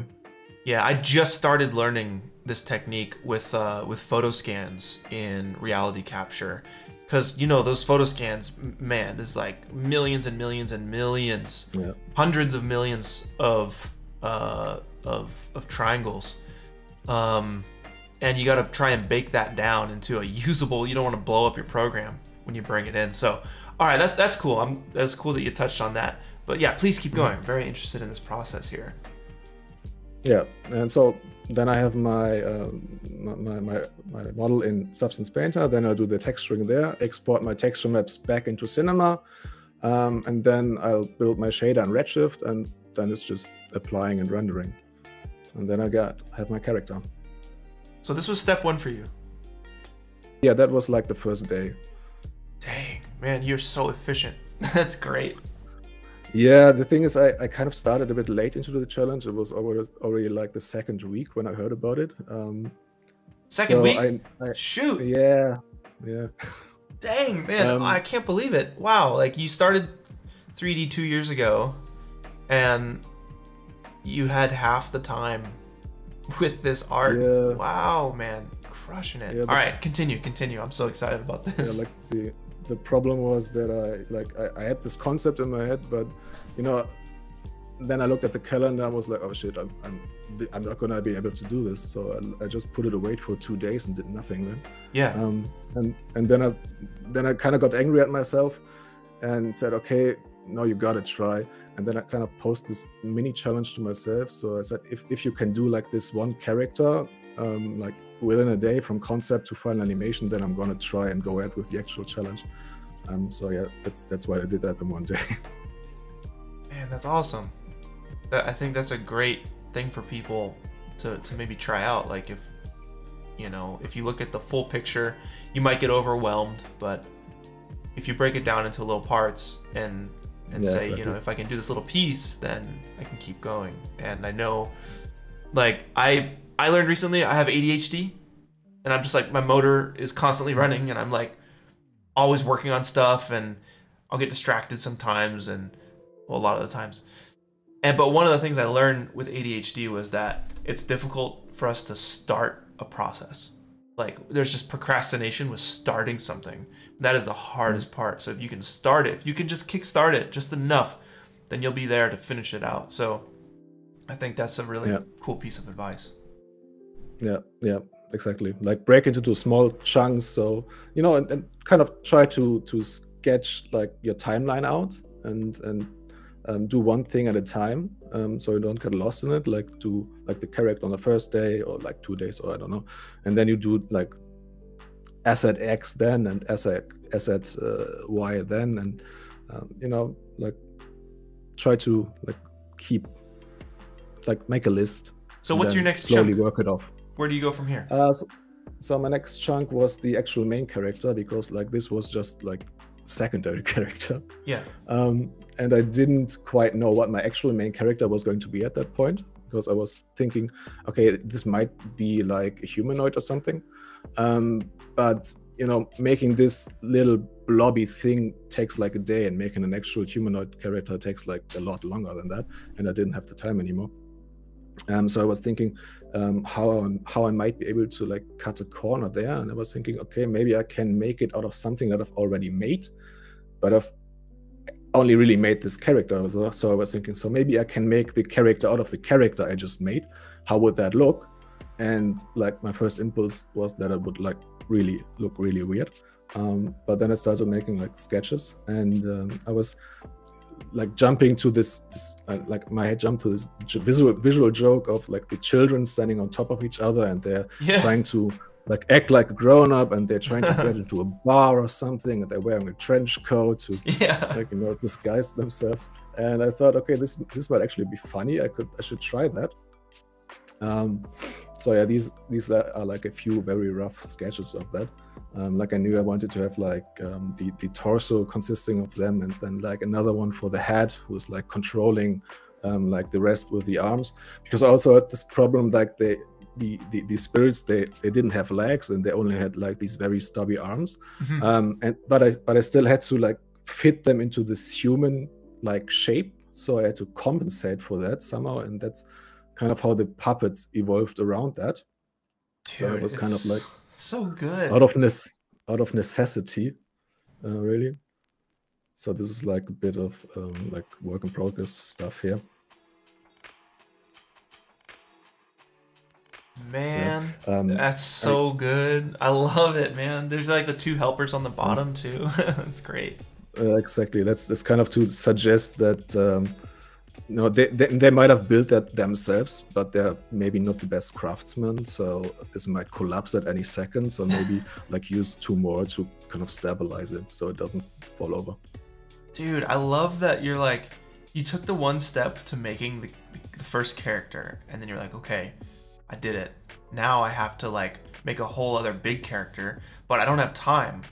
So how the heck am I gonna do that? Well, I'll make it from tiny. I'll make it from like a mix of the character I just made. And dude, it's such a cool, unique character that you put together. Like how how about these masks? Like where did the masks come into play?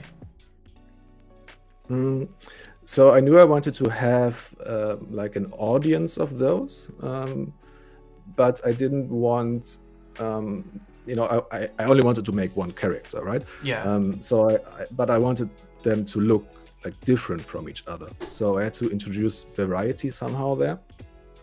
Um, so uh, I thought these these masks might be like the best way to introduce variety pretty quickly without too much um, like effort here.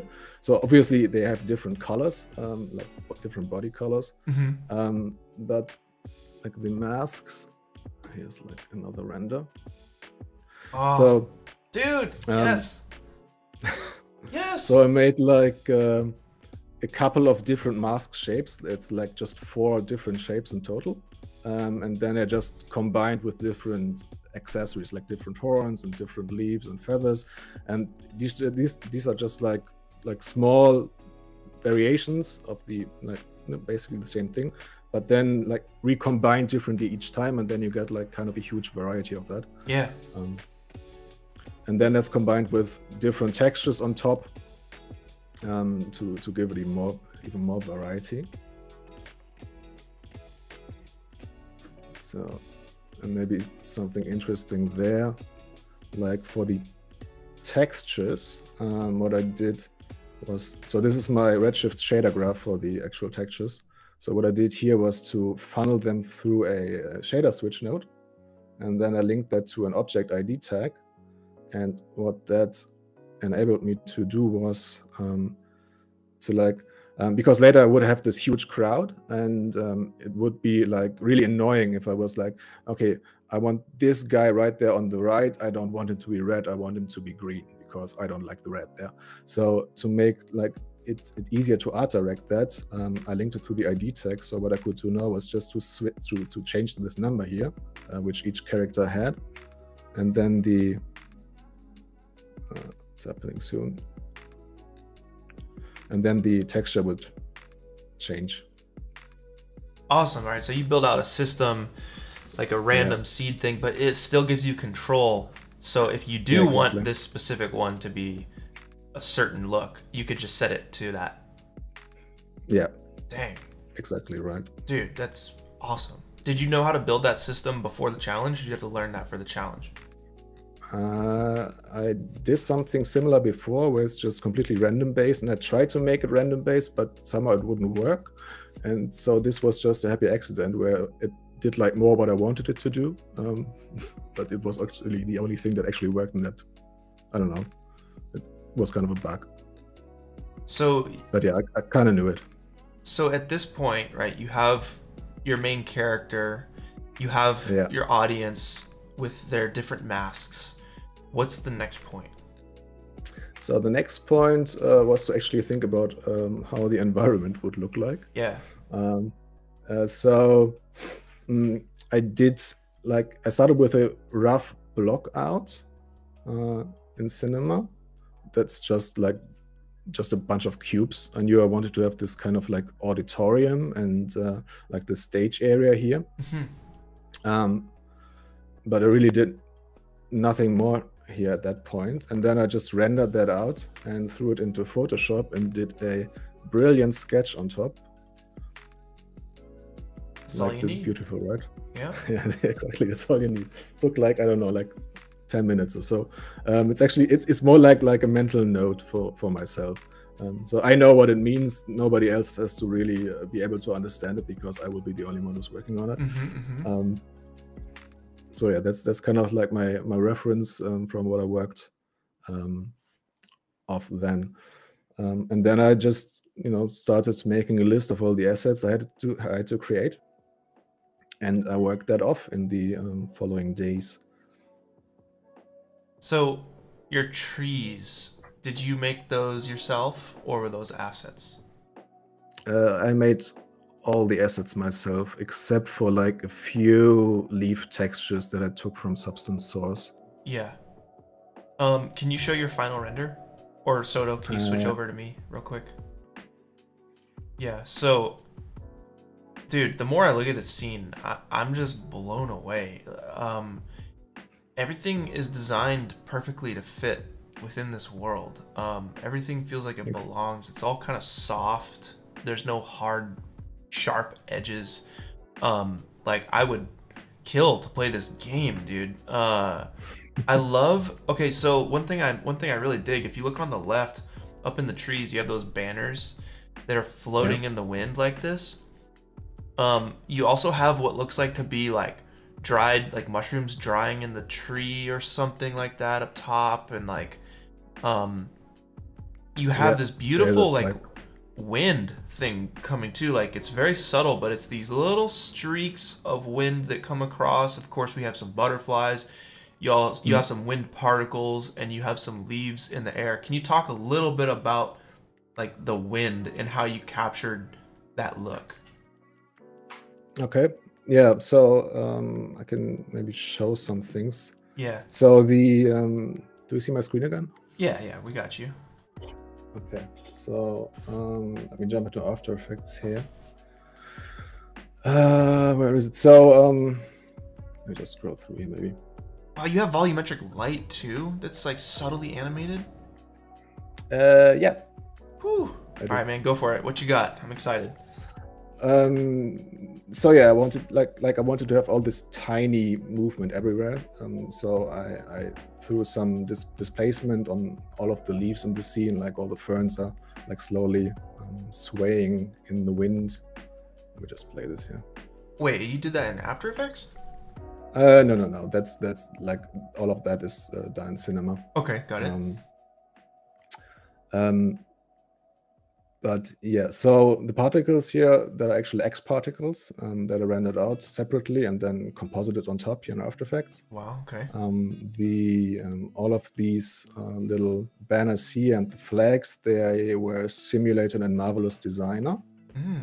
and like the long um, like banners here. On the that right side? like to the trees Yeah. yeah on the right and, and on the left and these here um, those are actually just um, splines um, in, in cinema and then uh, like um, i wrapped some geometry uh, around those and like uh, i think it's just a bit of turbulence Rope dynamics? yeah yeah exactly Amazing. Are you in uh, R26? S26? uh, r26 yeah Yeah, they got that new rope dynamics that are like super cool. I was using them for my thing as well, but that's that's freaking Yeah. great. And then the flag on the right, Yeah. is that just cloth sim? uh, the, the, the flags they're all marvelous designer Okay, okay, got you. Man, Like, uh, colors, think- dude. Oof. yeah and uh, the actual uh, like the these these tiny wind uh, uh, effects here. Streaks. Yeah, how'd you get that? Yeah. Oh, that is just uh, added on top in After Effects. That's. Oh man, this is a mess here. Where is it? uh, wind here. So um, that's just basically like um, this one stroke effect that's drawn on, and then that is like multiplied a couple of times, and uh, then I put some blur on it dude, and then that's comped on top. Like there's really not much more to it. that that's really like simple. the perfect way to show wind. Uh, that. Oh man, I'm gonna have to. I'm gonna have to like look into doing that on uh, some of my future renders because that's a nice, very nice effect. It feels. It feels like you want it to look like in like Ghibli movies or like Yeah. uh, Breath of the Wild or something. Yeah, that Hmm. was kind of the intent. Yeah, amazing, amazing. Shoot, um, and then the leaves and everything. That's X particles. Um, these these small leaves uh, floating here, yeah. Yeah. that's X particles. Awesome. Like there's about- actually yeah. some there's actually some particular on top, like very very like uh, tiny dust particles here, but you actually can't really see them in the final render anymore. Like there's too much grain on top, they get lost. How did you do the individual like leaf wind up top? Is that also just displacement noise? Um, let me think. Yeah, I think I think it was. Uh, let me see if it's in here. Like that's my tree. SpeedTree? Uh, no, that's a Taiao, Insydium Taiao. Do you Hmm. know it? Like the guys who make X particles, they released this new tool uh, in in spring. uh, which uh, lets you like uh, create awesome foliage uh, really quickly. Oh, Sick. yeah, that's awesome. And um, I, I did the trees with that, and then I exported them to ZBrush and uh, like uh, reworked them. Um, but I took the leaves. Like I used the leaves they Mhm. provided here. Uh, Mhm. you can't see them like this. That makes so much So, sense. um, yeah, that's awesome. Yeah, so I can't find it right here, but oh no, here it is. Yeah, it's just a displacer, and then there's like uh, a noise texture, and this um, like, it's an it's an animated noise and a displacer uh, deformer on the leaves, So, does like, that effect. does it play in the viewport? It does. Dang. That's great. All right, so you know we're we probably have a couple more minutes here. Um, Mhm. is there anything that you want to say or any advice you want to give to artists um, who are just getting started or maybe who uh, who feel stuck Mhm. like what, what what do you do when you feel stuck do you yeah i mean i'll just say that Um, when I feel stuck, um, that's a tough one. Um, I think like, mm, like, keep in mind that that everybody is feeling like that at some point. Like, um, it's not the end of the world if stuff doesn't work out as you you know you want it to uh, immediately but you know keep at it. Um, I, I often have this moment like when i'm working on a scene like there's always a time where everything looks like crap. Um, Mhm. where you look at it and you think this doesn't work but it often is like that it doesn't work yet. And you kind of there's like often this moment where you just have to push through um, and stuff and and eventually you will get to a point where um, where it improves um, and and and you will get to a point where you are more satisfied um, with the stuff you're working on. Um, and also if you like if you're interested in you know in getting to, getting getting into this like do it and and don't don't be like me and say for years like okay i'm gonna do it eventually um just you know just just try to make the time and actually jump into it. Um, and also like try to connect to other people and other artists online um, because that's something that i haven't done uh, as well for like a long time. I've just been doing stuff for myself and like keeping it all to myself and not sharing anything. Um, but the moment you like get yourself like get your stuff out there and and share it with other people and um, you know get get feedback um, you you will grow and the community is like really awesome and it's very encouraging. So yeah man. that okay? Abs- yeah yeah. Absolutely. Absolutely. I think finding that community and finding that support is crucial. Um Mhm. you know it, it's kind of one of the the after effects of you know me starting the discord. Because you like the discord was for the weekly challenges. Just to you know so other people could join in on these challenges that i was doing on the stream. Um, but it turned into this massive community of people who were like wanted to help each other out. And i think without the community it's definitely harder way harder to create. Um, but you know, to also touch on what you were saying too like i think it's really important if you want to do something to just go for it. And i know that it might be hard to dive into something that you don't know how to get started in. So the hardest part is always starting. For, for me Yeah. personally you know i think like it's when you're gonna be your worst but it's so important to start to start because you know you're never going to freaking win a challenge like you just did if you didn't start right so and and and also to touch on what you're saying about your art looking bad for a long time like yes that will happen you will get it, it will be a thing. Even even like when you got it figured out and you feel confident in, you know, your art. There's gonna be times where it just doesn't look good, and I I can say, just from experience, that that's the case every time I create something. It it Yep. never looks good for like a while, and then not until like the last moments does it really start coming together. And you just have to trust that that time will come. And the more experience you have the faster that time will come. But Yeah.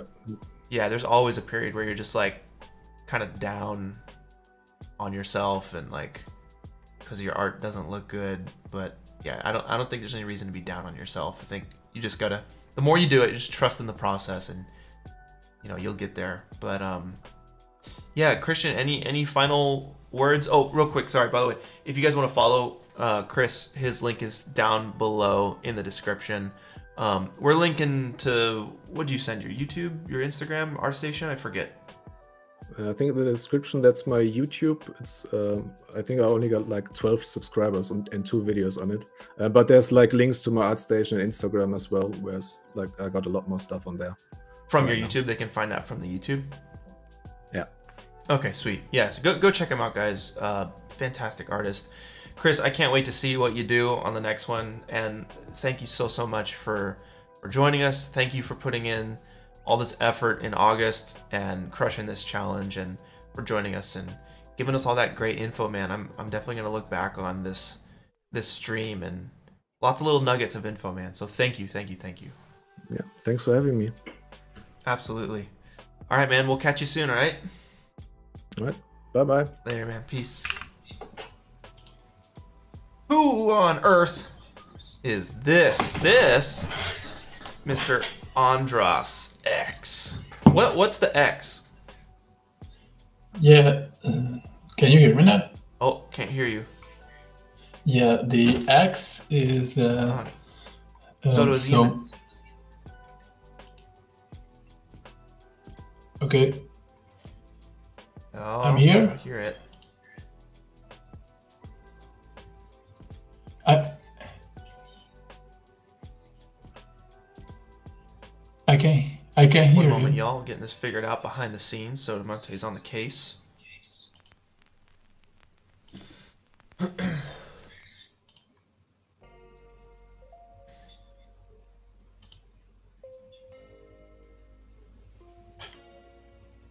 All good, guys. Do you out. do you hear me? Do you I hear can me? hear you, but I can hear myself. Okay. Hold on.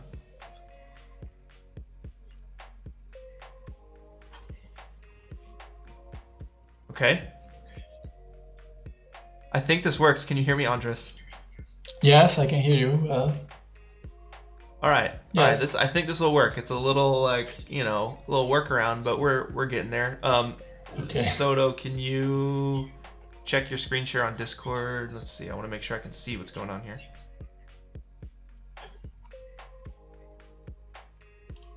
There we go.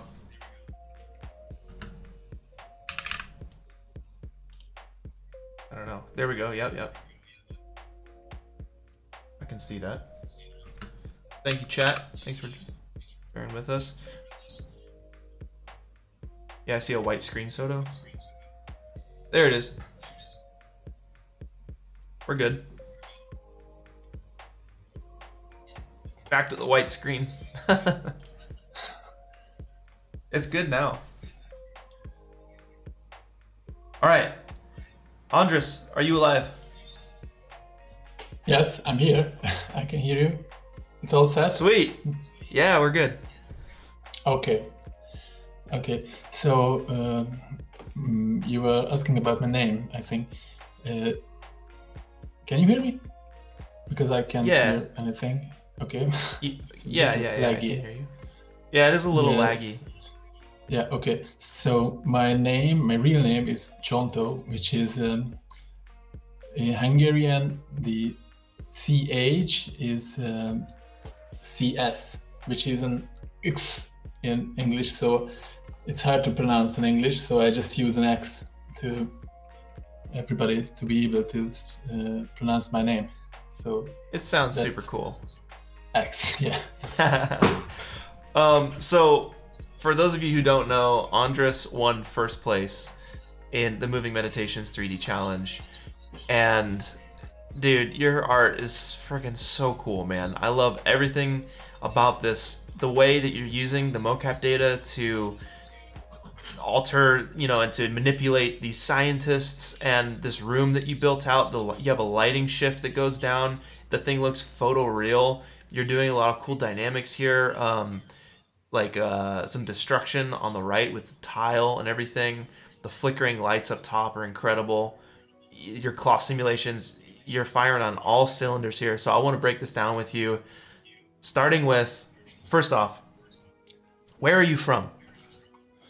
I'm from Hungary, which is kind of like Eastern Central Europe, from Budapest. That's the capital. Yeah, and I'm from here. Yeah. Where did you? How did you get started in 3D? What was the first thing that you were like, oh, I got to do this? 3D. I at first I was shown this at school. I was um, high school. I was uh, attending an art high school, and I uh, learned animation there.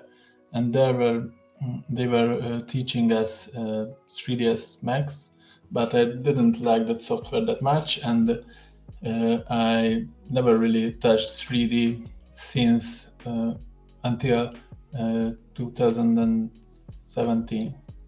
Yeah. okay, so you've been in about for five years, five plus years or yes, so. Yes, yes but I was uh, working in uh, animation, in 2D animation, and uh, yeah. Nice. Okay, so you know when you hear about, you're in Blender, is that correct? Yes, yes, Blender. Yeah.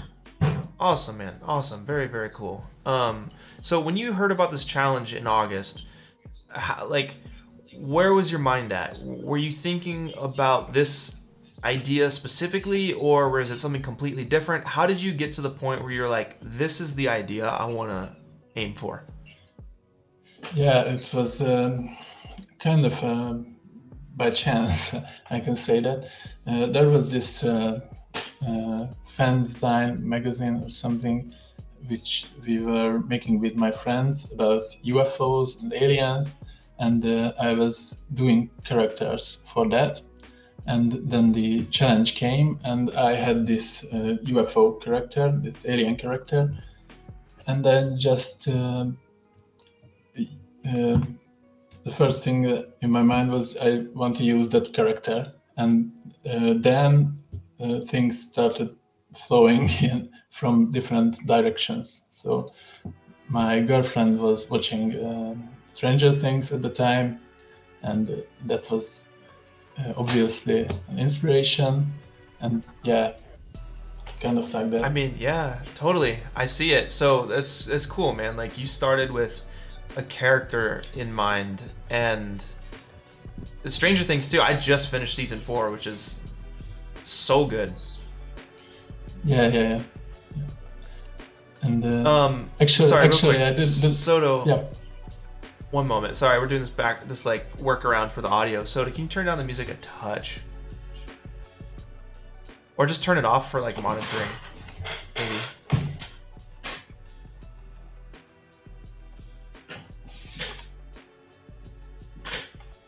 Thanks, dude. Perfect. Um, so yeah, I mean, I get, I get the Stranger Things vibe from this, definitely. So it seems like you had a perfect mix of ideas come together, um, starting with the character, and yeah, it's a great way to have some solid direction. Yeah. At first, I just thought this is an alien guy. He could do magic, levitate things, and just what if he, he just uh, levitates some trash or something in an alleyway? But um, soon I dropped that idea, and uh, it came to my mind this Vecna things when he uh, just ruins people, and from that, from uh, then it just flowed in this direction. Yeah, that's such a beautiful process when like you can get that ideas coming together and have a direction and know exactly what you're gonna do, and you just knock it out from day one. Um, uh, amazing. You were blessed with a great idea early on, it seems. Yes, yes. Actually, I, So- I started. Sorry. Oh no, go ahead. I can say- Yeah.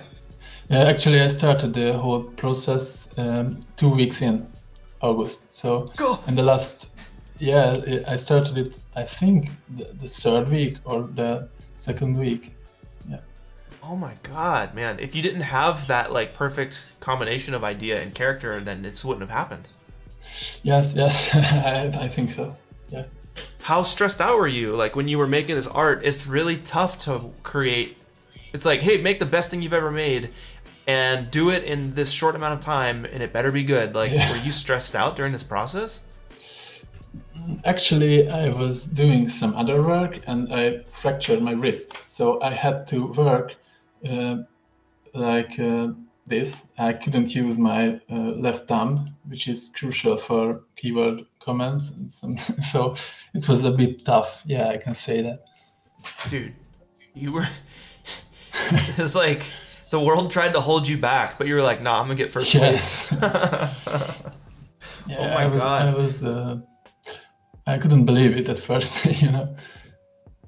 Wow. All right, so let's get into this art, man. Tell me about this process. How do you begin uh, putting this scene together? Yeah, um, I'm gonna show you, I don't know, the blend file maybe. Yeah, it's here.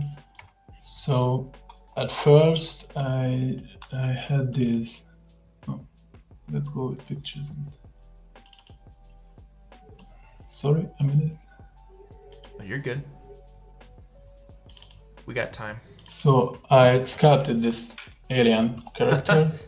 Dang, that's so sexy. and yeah, uh, he was made in, in an iPad and this app called What? Nomad Sculpt.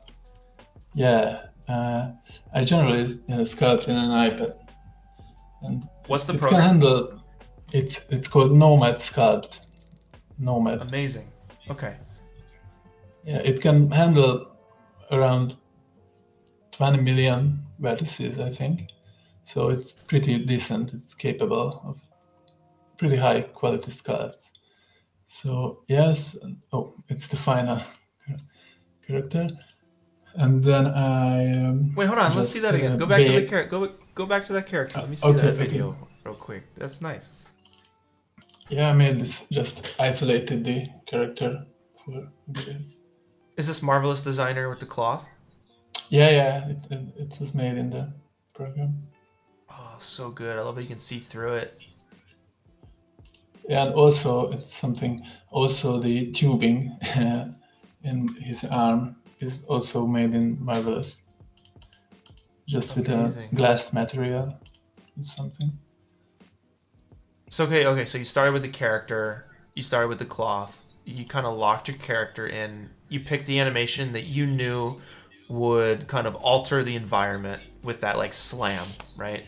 Yes, yes. Uh, for, for the anim- picking the animation was um, I almost instantly knew I wanted uh, number eighteen because that was this uh, impact in it, and I very much like that. So it was um, an easy choice. So yes, and uh, what's next? Environment or the scientists? no, actually, I was uh, retargeting the uh, animation and tweaking the um, tweaking the animation because there was a lot of clipping because he has uh, long limbs, long arms, long legs, so there was so much clipping. I was cleaning that up, and then I think then after that I was uh, doing some basics, basic uh, mm, environment, something like this level or a little bit less, just uh, just this basic corridor and uh, and uh, the textures. What are you using for reference on this? Are you just off the top of your head or what? Uh, I I was looking at references. Uh, Ooh, actually, I use Stable Diffusion for that. hmm hmm it's gonna stole my work, uh, my living. it's so good, but with the alien character, it wasn't that good. So it's like this, this. It's described an alien.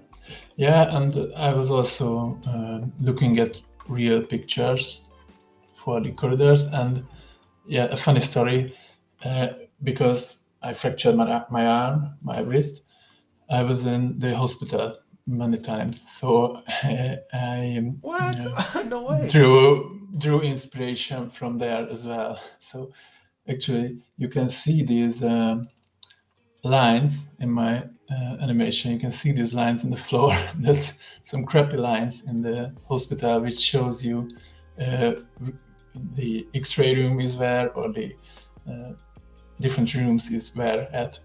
So I incorporated that photograph in the scene. Oh my god.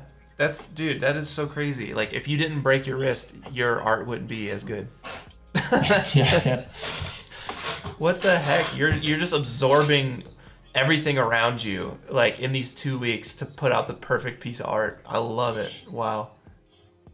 Yes.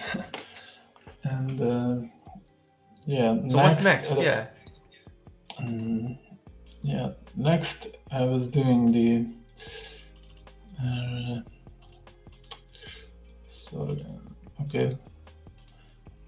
The the scientist characters, yeah, Yeah. they were ne- they were next. Um, unfortunately, I lost that uh, file when when I could show you, but I was um, making make the, the doing the rigs in uh, Mixamo Okay. and also and I downloaded Mixamo animations and I combined them with uh, this mm, thing called nonlinear animation in Blender, where you can combine different uh, FBX uh, skeletal animations into one.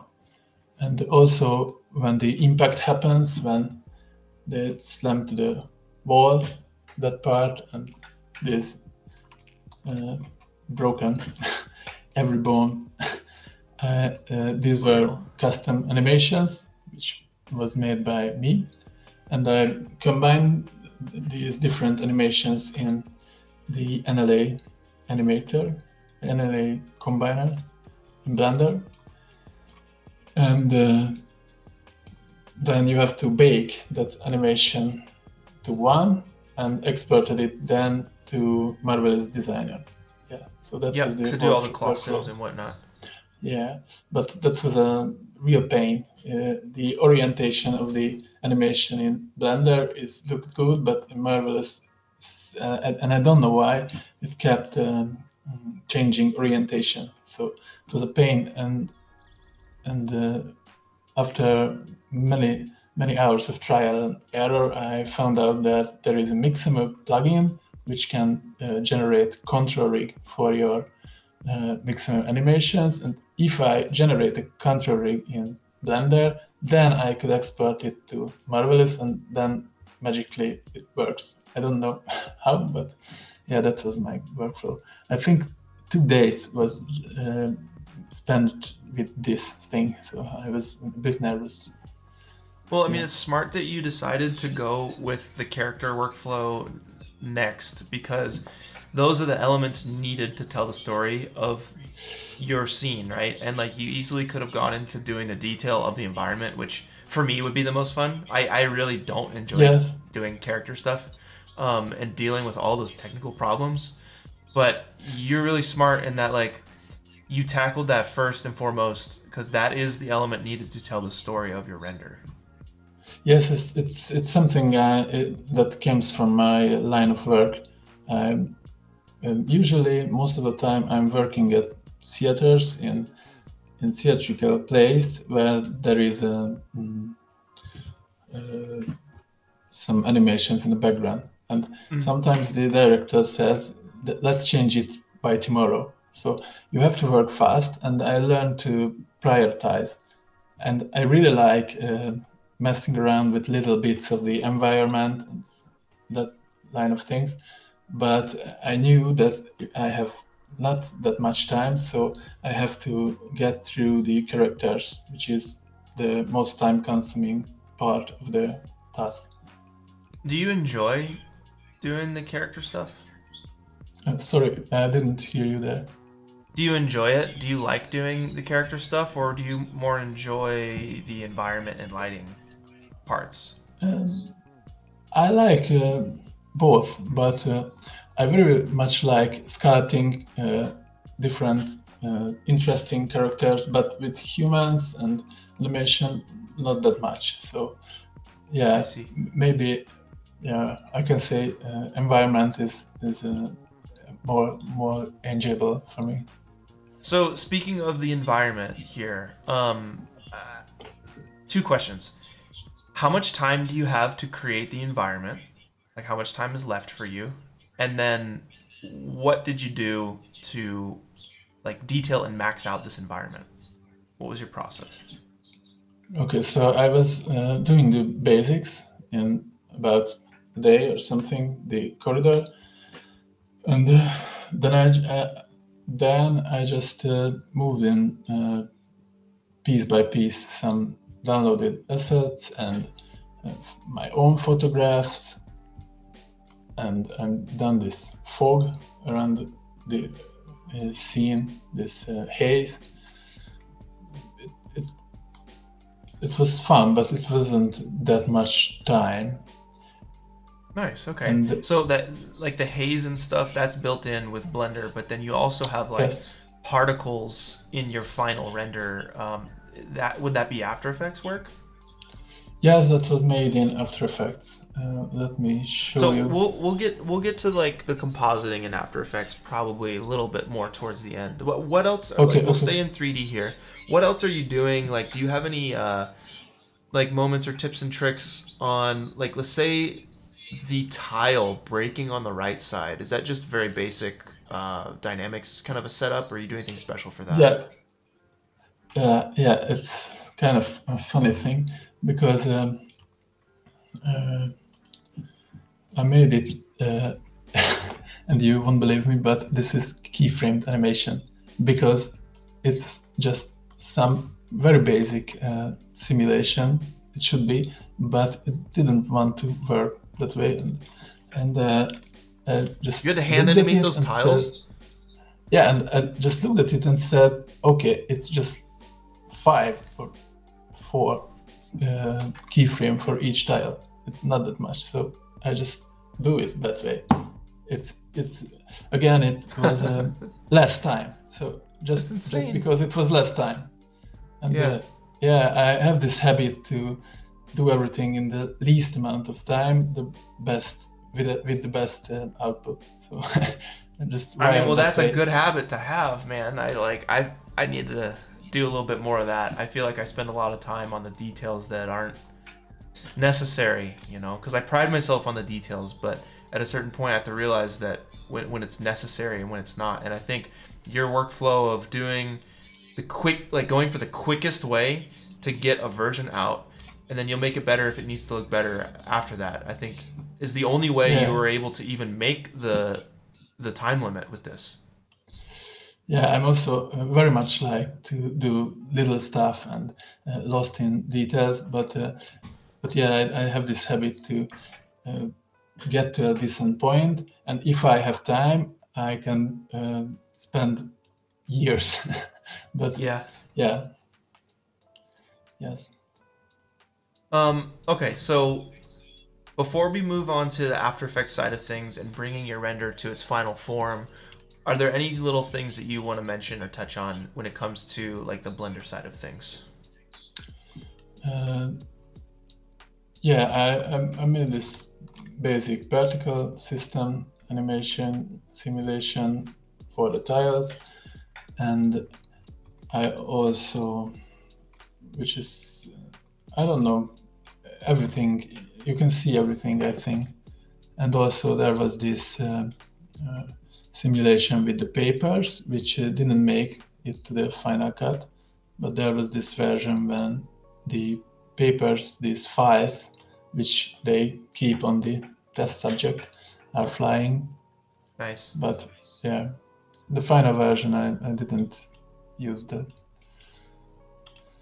You know, I think one thing that I love so much about your art is that the mocap data affects the environment. And I think that's a big thing that a lot of people didn't do was have their mocap data affect the environment. And I think it's so important because you're going above and beyond. It's like you should definitely like especially if you're picking something with ha- that has an impact it should affect the environment or i don't say should it's you know all subjective but you're doing such a good job of it um thanks. you know it, it feels like a complete a whole complete world that you put together so you're gonna render this out right and then you're gonna bring it into after effects and you're gonna start compositing this thing so do you have a version like before and after compositing or no Uh, yeah, I have. Um, just a minute. So th- this is the final, and uh, yeah, it's after. This was the so Blender uh, rendered this. This was the render uh, straight from Cycles. There is the lights, the haze, everything, the volumetrics, and uh, this was the final compositing. It- It's not yeah, you can say there is a difference, of course. Um, can you do me a favor? Can you close Blender right now? Because you're coming in a little choppy on the Discord side. Okay, I closed it. All right, sweet. So you're adding this like dust particles, which I think is a very, very, very big thing to add. Um, it does a lot, and it's a very Yeah. subtle thing, but you're killing it with those particles. And yeah, you got some like smoke in the background too. Is that right? Yes, uh, yes. Uh, I try to make the impression if uh, there is a fire in the background in the in another area, and they are uh, escaping from that fire, and the alien guy is also escaping from his prison. yeah, and he caused the fire, of course. So Um, and you're doing is a smoke. like besides color correction and whatnot. Are you adding any diffusion? Are you adding film grain? Are you doing like any other special lens kind of things in After Effects? Yes, uh, I added film grain and uh, uh, different layers of uh, adjustment layers and this kind of glow thing, which is just uh, uh, a white layer masked out and in addition mode, blend mode. And also I made these uh, warp effects and Mm. this. mm, uh, how would you call it this RGB, RGB shift effect? Yeah. And, uh, Okay. you can see it uh, better here. Yeah, so actually, as soon as the scientist's uh, feet leaves the ground, there is some uh, displacement in the whole uh, whole picture. If you can see that. Yeah. Definitely. Yeah, I think it that- really makes it feel otherworldly. Yeah, I that was my goal. Yeah, and uh, when the impact happens, there is this mm, I don't know this energy uh, warp or something like that. And It's so good, man. Your lighting comes together perfectly, and like the way the lighting shifts, and all these little subtle things you're doing come together for such a huge impact in the end. It's amazing. yeah, the lighting was um, pretty much I'm pretty sure the lighting is uh, helping to sell this thing. Uh, I used It looks so dark and sinister too. On the red, like when he when it's just backlit on the red. Yeah, actually, it's just some faking. Uh, there is area lights behind it, which Mhm. make this rim light. Also with with the here you Oh. can see it. But there there are also other light, red lights in the background, which is some kind of a alarm alarm light. Yes. Dude, it's so good. Yes. It, the, the lighting, man. I think that's like the the biggest thing with yours is the lighting. It's just incredible. Yeah, so, and it's so like yeah, subtle too. Thanks. The, I made this uh, flickering almost in every light source, which was just some uh, modifiers in Blender, uh, noise modifiers with limits, right? Mhm. So, so everything flickers, which I think uh, helps uh, to add that um, other otherworldly energy going on vibe. It's perfect. I, I, you know, before before we close it out here, I want to ask you: Do you have anything that you would like to say to the audience? Any words of advice that you would like to say to people who maybe didn't make it into the top 100? What would you say to them? Yes, I, I, I say to them that uh, it's kind of obvious, obvious, but never give up, and because uh, so many times there will be setbacks and something like that, but just keep going. Never really uh, think about uh, the that you have to perform or something just uh, there is you and you learn from everything and if you learned from something uh, that's that's the biggest prize i think and Agreed. uh, Yeah, agreed. I think Yeah. people just need to, ex- like, if it's about winning the prize, there's only so many. There's only five people who win, and like, yeah, top 100. Sure, they got kit bash stuff, but like, at the end of the day, it comes down to like, did you have a good time creating? Did you learn while you were creating? Like, did you make friends yes. along the way? You know. Yes, yes, and especially uh, uh, before uh, before these challenges, before your I was doing your challenges, I never really mm, talked uh, with other people from in the industry or in the 3D scene, and uh, I learned uh, so much from the Discord, from doing weekly challenges, from doing this. I just uh, pop my uh, work there and ask uh, people if do you have any uh, thoughts on that? And they help. So so you could learn from i think the the most important thing is to learn Yeah. yeah yeah, keep the fire going. You know, everyone Yes. has a desire. They get into it because it's fun.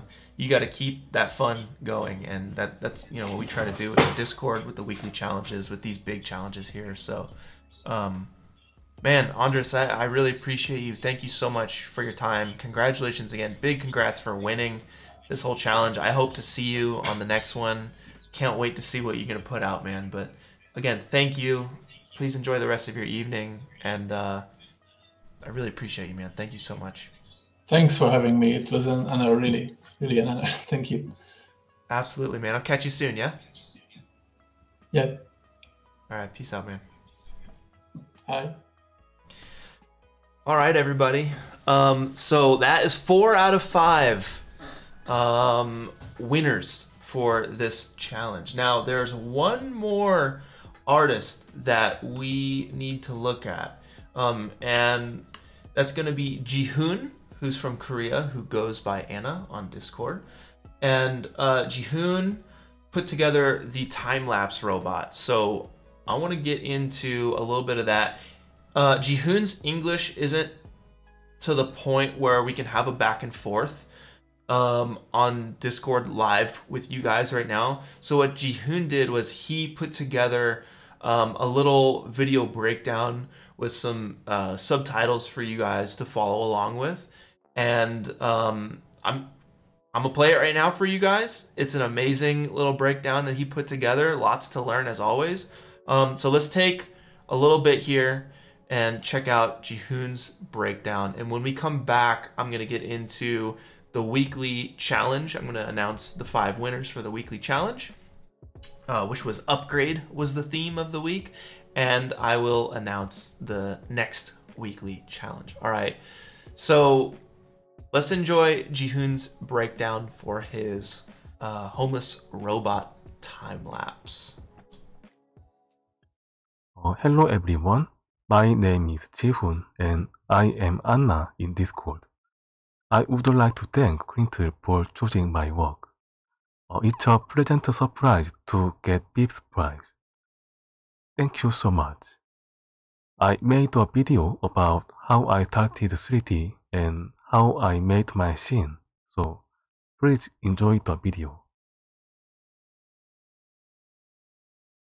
In 2004, I watched the video of a game called Yogurting. It may be common in these days, but 18 years ago, game animation with such energy and style was rare in Korea. I was purely shocked and soon I became interested in computer graphics. I was interested in 2D illustration, motion graphics, and 3D CG, but unfortunately, the earliest thing I lost interest in was 3D graphics, because at that time, the performance of the home computer was not good enough to 3D modeling.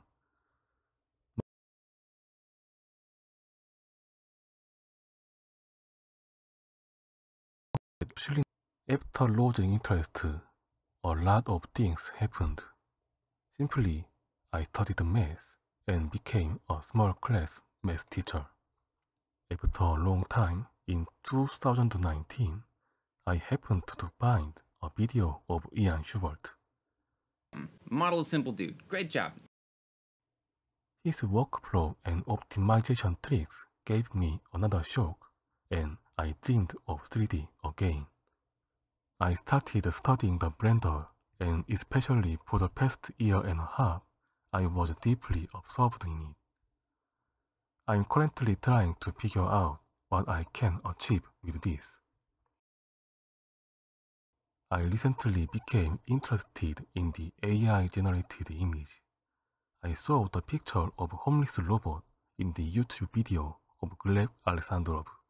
Maybe the idea itself was common, but the way it was expressed seemed really unique.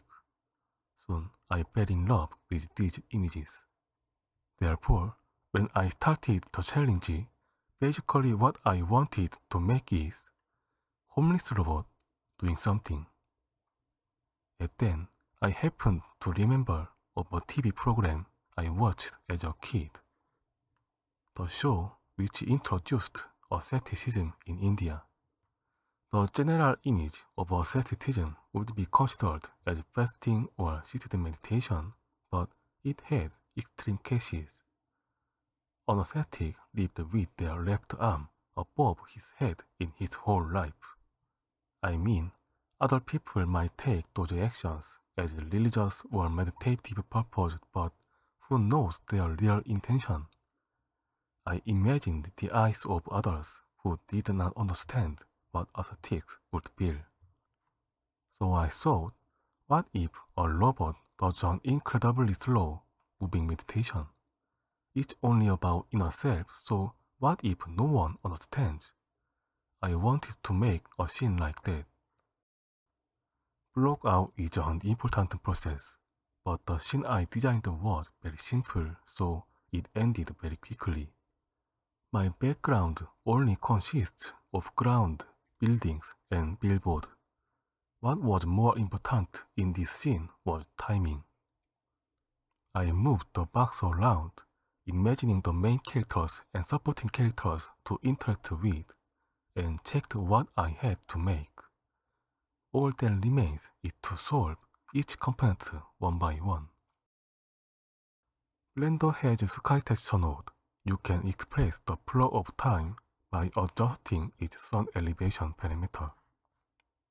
However, there was a problem that this background only works in cycles. I had to find a way to solve this because I was planning to make it Eevee. I thought that if sky texture was output as an HDR image, it could be used in Eevee. So I animated the sky and printed it out as an OpenEXR image sequence. When the image sequence was loaded, sky texture is now worked on Eevee. I set the output resolution very low The reason is that first, because the sky texture is almost empty, so I thought 200 pixels was enough. And secondly, I was worried about future memory shortages. I wanted to use building models as light as possible, just like the sky. First, I took some pictures near the South Station.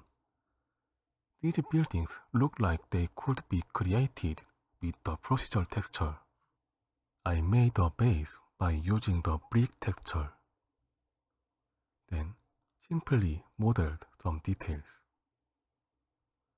Still it looked bland, so I used the random block colors to make the normal direction slightly different for each window.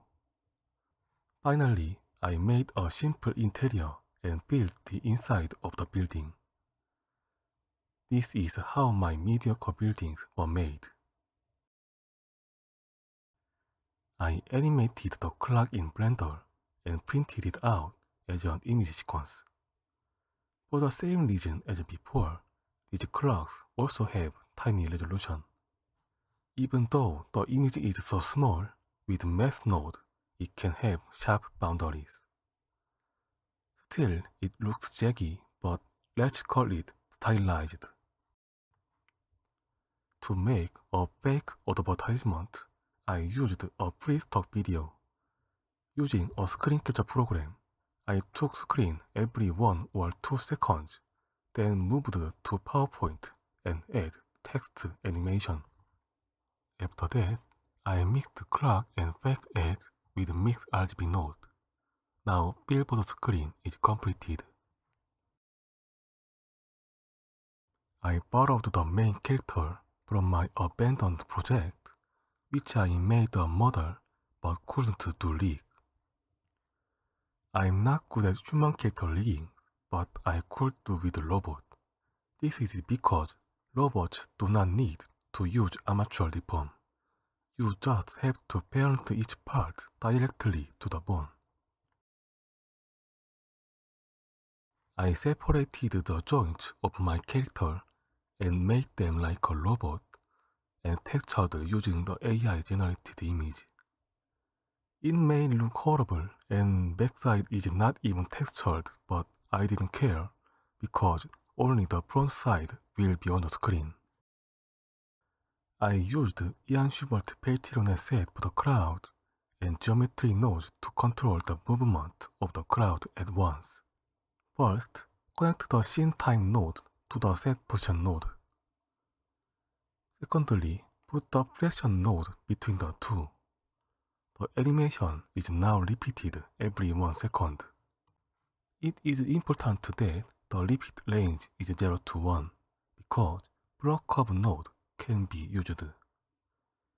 If you use the float curve to assign different movement for each axis, then any motion can be produced. Finally, by using random value node as time offset, convenient animation is complete without having to pay attention to the timeline or graph editor.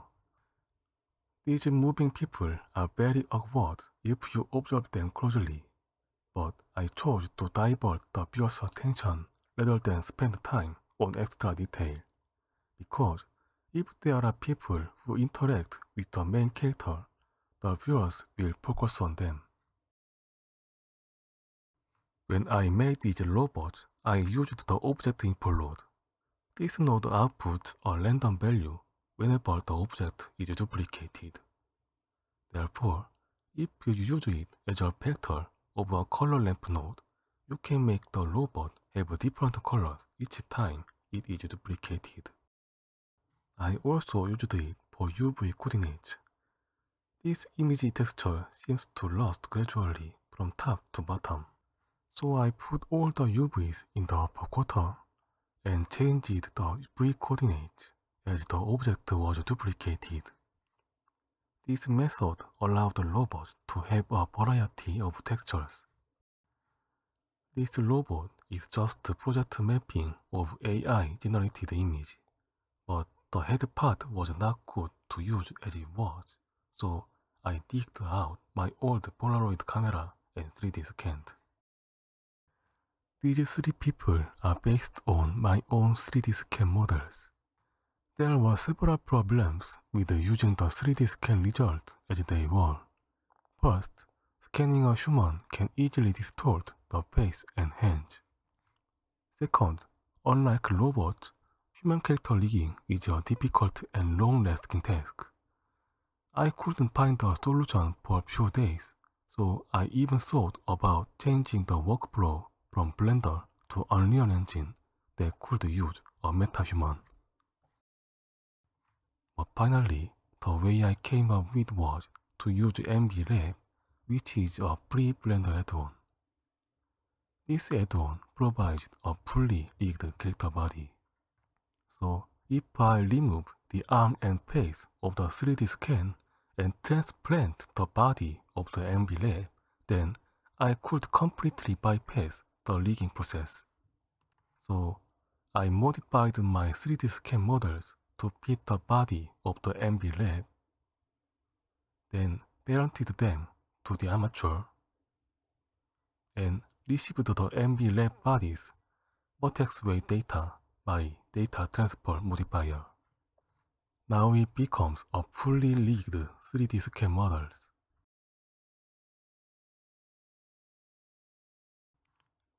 To be honest, I didn't make a character animation. I just let the characters pose for each frame. My scene is 6 seconds long compression of 16 hours, so one frame means 7 to 8 minutes. So I tried to match my animation to the speed, but then they moved so fast. If you take a picture of the city every 7 minutes, then nothing will look continuous. This may be physically accurate, but it is very distracting and cannot create a meaningful story. Therefore, I decided to adjust every movement for screen time, not real time. What I did was not animating, I just paused for the characters in each frame. Actually, those frames would read, so maybe people would not know more than that the characters are just interacting with the girl. Nevertheless, I wanted them to make some meaningful pose at each frame. I intentionally removed the motion blur of certain characters to attract viewers' attention. Cycles has the option to turn motion blur on and off for each object. Unfortunately, Eevee does not have that feature. However, there is a cheat method to do this control in Eevee. If the motion blur option is set to start to one frame, render engine will refer to the space between the current frame and the next frame to create a motion blur. For instance, in this screenshot, render will refer between 5th and 6th frame to render 5th frame. Therefore, by controlling between the frames, the intensity of the motion blur may be adjusted. It is generally a difficult task to do because for this purpose, keyframe must be inserted into every single frame. In my case, this was easily possible because I made their pose in every frame, so there was already a keyframe without any space.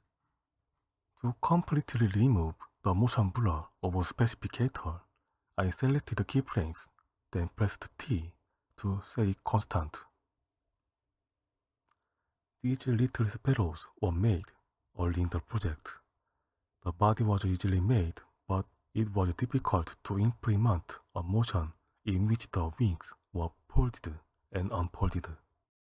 I just make the wings separately and animate them by repeating height and unheight. These flying papers are not a simulation, but a geometry node animation. It is difficult to fully explain the internal structure, but the basic principles are as follows. First, use a curve modifier to deform the subdivided plane. Then, rotated both the paper and the curve separately Now it looked like a flying paper. These could all be implemented inside the geometry node, so all I have left to do was animate the location of the paper. I didn't do much post-process like color grading in this project because all the adjustments were already made for the timeless effect. The last thing I added was a simple film grain. For the film grain effect, I mixed the noise texture with the rendered images and finally connected the lens distortion node. I was able to finish all the work in Blender like this. And this is how I made a short but long 6 second animation. I thank Clint once again. I am very appreciative. I didn't have a social media about Blender or 3D CG because I was a math teacher until last year, but I'm going to start the Blender YouTube channel from now on. Although it's Korean, but if you don't mind, then please see to the URL below. Thank you for watching. Oh man. So much good info. The dude is a wizard when it comes to Blender. It's like everything is so smart and it's just enough to to cheat his way through to the final piece of art. And I saw a Visual said in the comments too, like y'all are digging that. Um, Visual was saying like it's the perfect example of favoring the art versus what's real. Um, and it's just freaking perfect. Wow. Um, Jihoon, if you're watching this, thank you so much for putting that together. That was a really, really nice breakdown. Um, it'll be here for you guys. Definitely go check out uh, his YouTube channel that he just started. It's all in Korean. I don't know if there's English subtitles, but you know, definitely check him out. See if you can follow his stuff. It's linked below, as well as all the other artists who were on today with us. Um, yeah, super, super nice. I hope you guys got a lot out of this stream. I know you got a lot out of just that last breakdown from Jihoon alone. Um, brilliant, absolutely brilliant. Thank you guys for for joining me. Thank you for learning with me, for growing with me.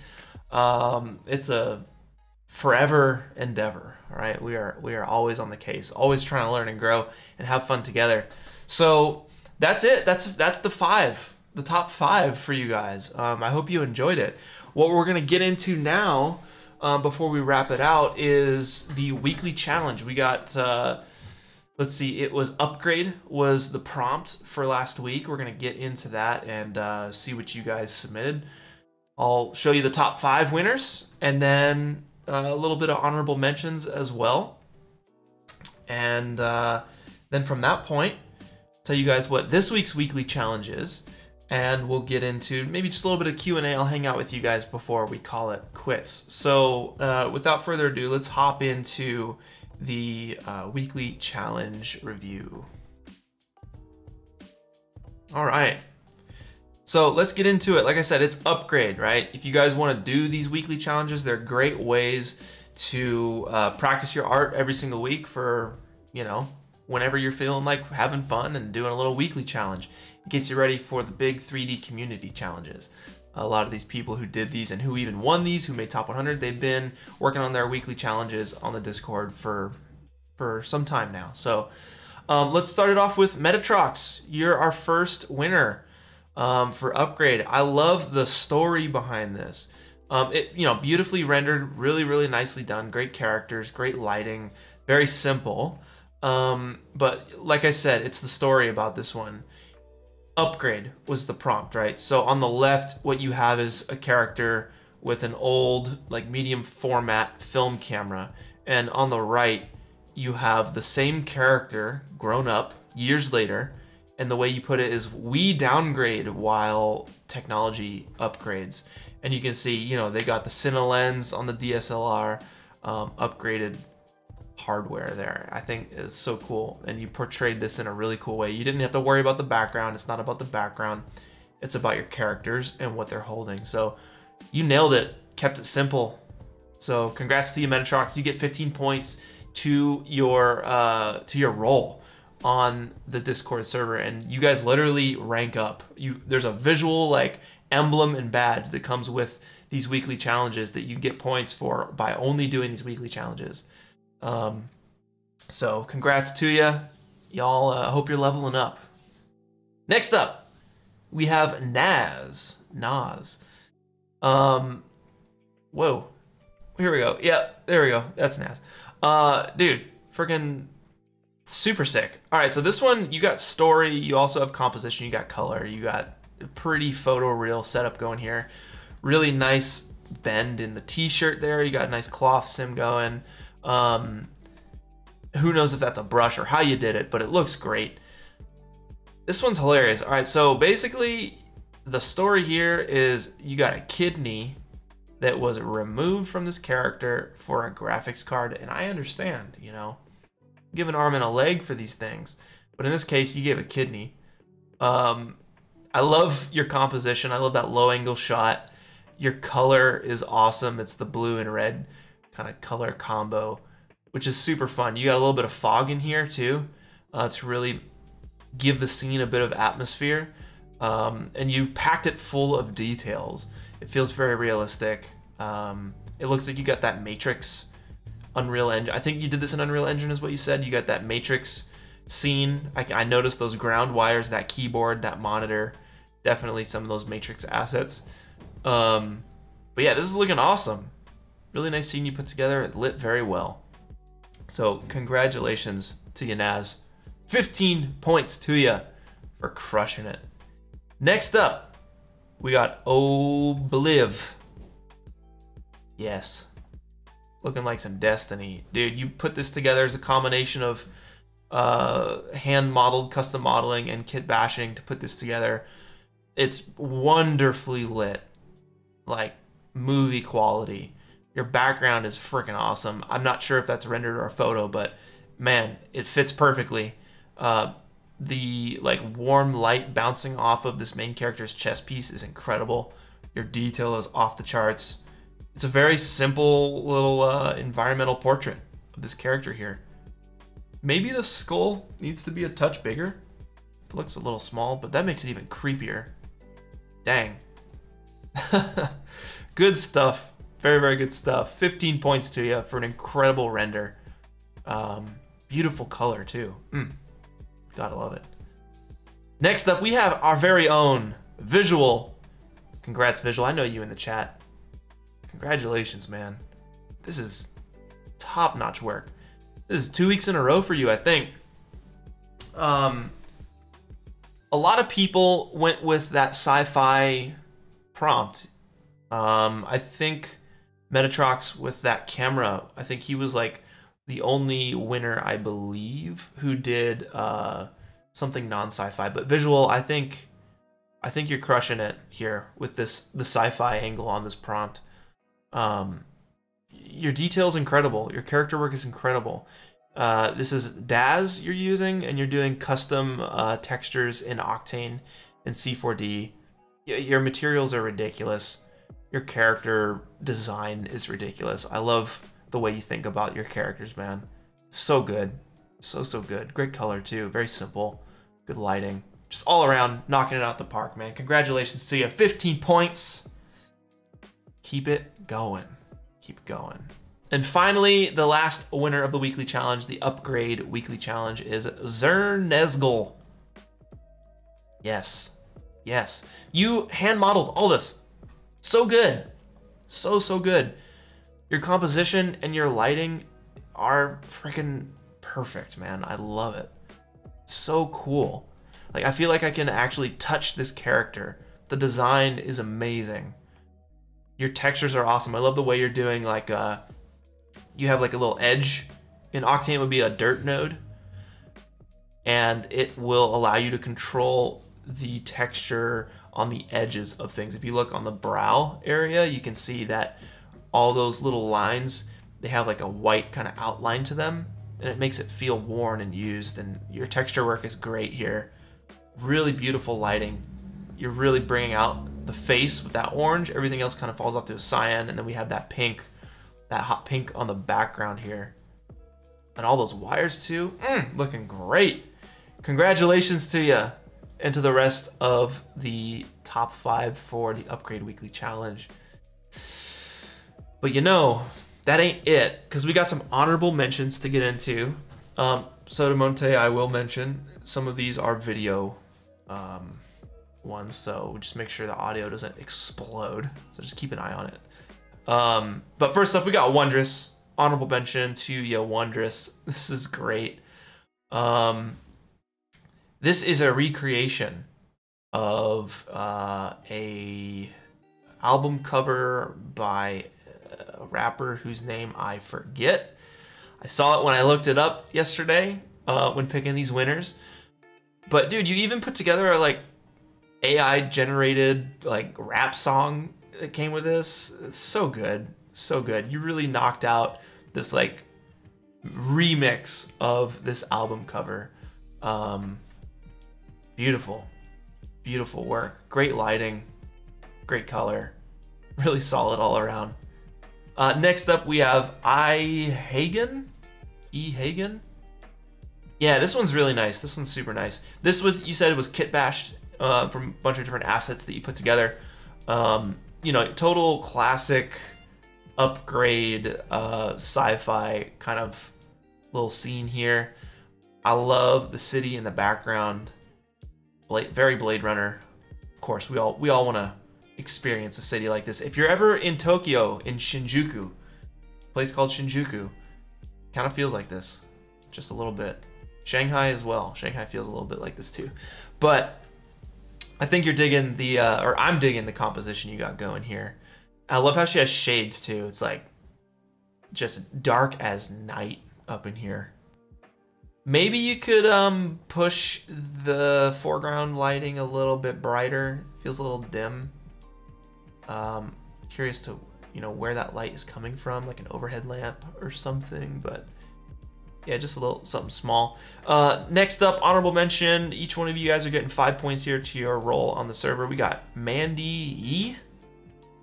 Same situation. I love the colors though, but you modeled this hand by yourself, which I thought was very, very impressive. Um, it's a really cool look. You got that muscle kind of blending in to the metal. Um, I thought you did a really good job. I love this cartoony look that you have going on. And these soft colors, you're killing it with these soft colors. So I wanted to shout you out there. Next up, honorable mention, we got Marcus Seam uh, with a little like food processor thing. And if you look closely, you can see each one of these pieces of food are being upgraded. And it's fun to just watch all of these take on. So the beer goes to like a martini. It's hard to see, but fruit and vegetables to go to some sort of how does that chicken cube the cube goes to a donut yeah it's a nice little machine you put together. I thought this was awesome. Uh, next up honorable mention mdk i see you. Yes. So you put together this awesome scene here. My only note for you is um to to trim some of the fat. Like there's uh I feel like we're waiting for stuff to happen, especially at like the front end of things. But once it gets going, it's super cool. I love seeing this thing transform into a zombie compound. And of course, they're like, you know what? This is top secret, y'all. We gotta cut the feed. so good. Shoutouts to you, MDK. Next up, we got Noodle Chan. Very simple, little breakdown you put together here. Um, I believe you took concept art uh, or heavily inspired by a certain artist's concept for this weapon, and uh, you built out each piece and slapped them together in this cool little video. I just wish it was longer. I think that's the only thing. Or if it was like an infinite loop, that would be my only note. But dude, your color palette is off the charts. The way you lit this is so good. So, so good. Um, next up, I think this is second to last. We have Swall for that honorable mention. Now, this one this one came close to winning. I was just like confused as to like what the heck this was even. Like what what is going on here? You we have kangaroo like cyber kangaroos like getting ready to race or something like or they have dumbbells like they're they're about to start working out but why are they on like nutella and peanut butter i don't know it looks photo real um and but it also looks like it was like ai generated or something weird like it's hard to tell it has a very unique look to it um but like even the little baby kangaroos in the pouch are hilarious. It just this one made me laugh. This one had me asking a lot of questions. Um, good stuff. And finally, we have Maku with this cool little laptop transformation. Laptop to a PC upgrade, and then back to a laptop. This is like really nice. This is almost like I could see this being on some sort of app, like loading, you know, or uh, we're working on your order, you know, kind of a thing. You really did a great job with this. It's very subtle, or not subtle, but very simple, but super effective. So congratulations to the winners, to the honorable mentions, and let's take a look here real quick and see what the new weekly challenge is for this week. Bear with me here. Let me uh, get my screens. And you got three screens and a bunch of different programs. It looks like experiment is next. Let's see here. On now. Weekly challenge. Confirmed it's experiment. So guys, you have a week starting yesterday to make a render that is inspired by the prompt experiment. So dig in, have fun with it. Um,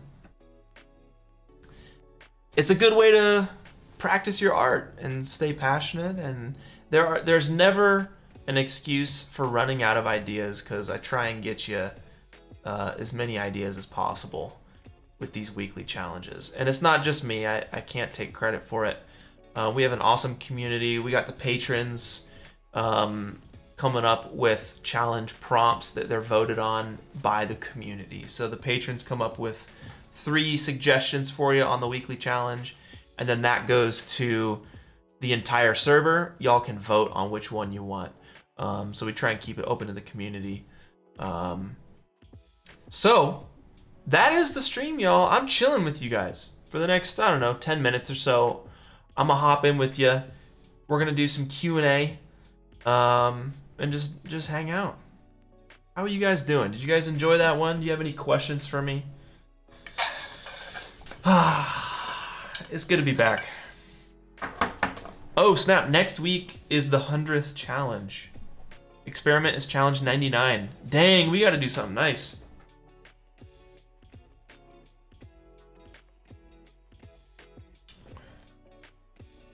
What's up, 80?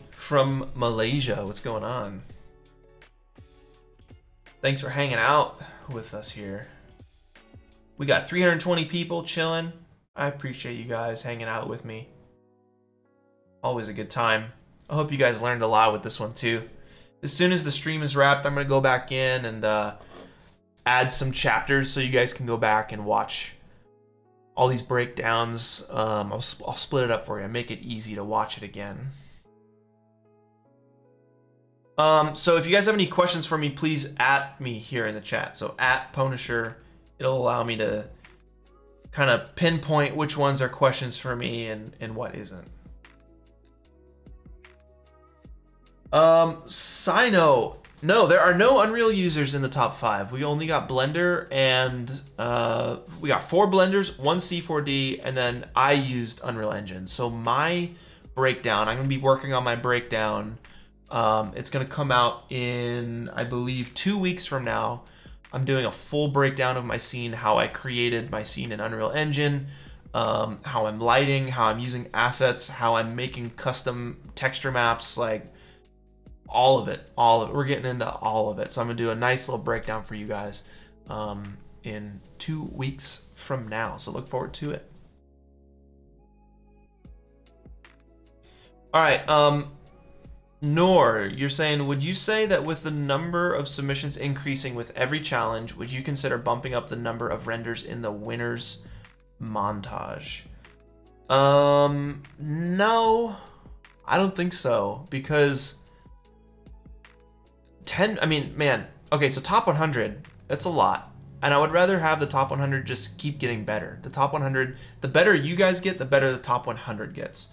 Um, also, with custom music, it's really difficult to write a lot of music for these things. Like this last one was 10 and a half minutes worth of custom music, all written in about a month. If it goes out to 20 minutes, it just becomes impossible at that point. It becomes pricey. Like, you know, I gotta pay for the music to be to be custom made. Um, I don't have plans for doing a top 200 or anything. I think we just keep it simple, top 100. It sounds nice, and they're just gonna keep getting better the better y'all get. Um, and of course, there's always gonna be the all renders challenge too. But who knows in the future? Who who knows? Um, let's see. Oh man, Albert. Okay, so a long time ago, I think you talked about making a video on file management when working with 3D. Are you still planning on making that? I think it's an incredible one to to finish. It is a beast of of a video. Um, I interviewed everyone from Beeple to Ian Hubert to uh, uh, uh, shoot, what's his name? Friggin' Andre Lebrov. Thank you, Soto. Andre Lebrov and like the people over at uh, Action VFX. Like, I, I hit up everybody I could and asked them what their workflow was on how to manage their files and how to work as efficiently as possible so you're not digging through stuff and wasting time. Yeah, I really want to put that out. I really do. It's just such an edit. There's hours of footage I have to dig through interviews and stuff, um, and it has to kind of be written, rewritten in the edit. So it's a process, but yeah, I think it's an important one. It's an important one. I'm, I'm planning to do it. It'll be next year, but it's on the list. Um, Solo Ghost. What am I working on currently? I'm working on the breakdown for um, my moving meditations piece of art, all in Unreal Engine. I'm gonna be working on, um, like I mentioned to you guys, I was in Virginia for Camp MoGraph. We were just chilling on the beach with 3D artists for like four to five days at a campsite. It was incredible. Um, I try and let you guys know when tickets go on sale. It's put together by the MoGraph.com guys, um, Camp MoGraph guys, and um, it's an incredible experience. Like if you if you can come down to the states for it next year, please like try to come down. It's so good. Great way to meet people. Great way to take a break, to learn, get inspired. It's so good. So while I was there, I was heavily inspired by a moment we would have every single uh, evening. We would watch the sunset together as a whole group. So I have a render in mind that I want to create. Um, I believe in Unreal Engine. It could be Cinema 4D, but that's next for me. I'm gonna create that environment. I'm excited about that. I'm also digging pretty heavily into AI.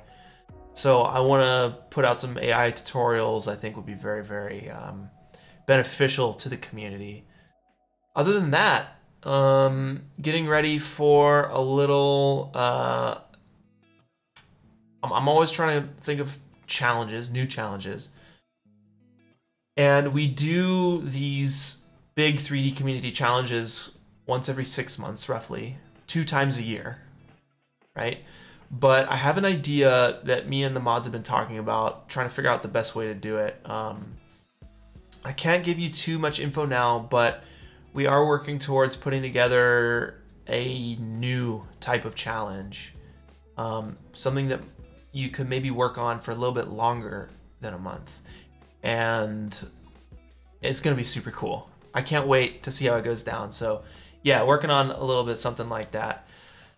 Uh, other than that, you know, that's kind of my year, you know, um, and then I'm going to have to get into next year and plans for next year and stuff.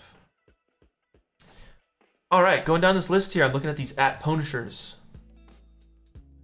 When do you find out the next big challenge? You find out the next big challenge when it gets dropped that's pretty much it. If you're on the Discord server, that's the first place you're gonna find out about the challenge. Um, same on the YouTube. If you guys aren't subscribed, definitely do so. Um, it's the best way to find out about these challenges. But being on the Discord, got you, got you as well. Um, for the 3D weekly 3D challenge, can you submit a Photoshop based on the prompt? No, we're we're trying to keep it to 3D only. You know, that's the focus.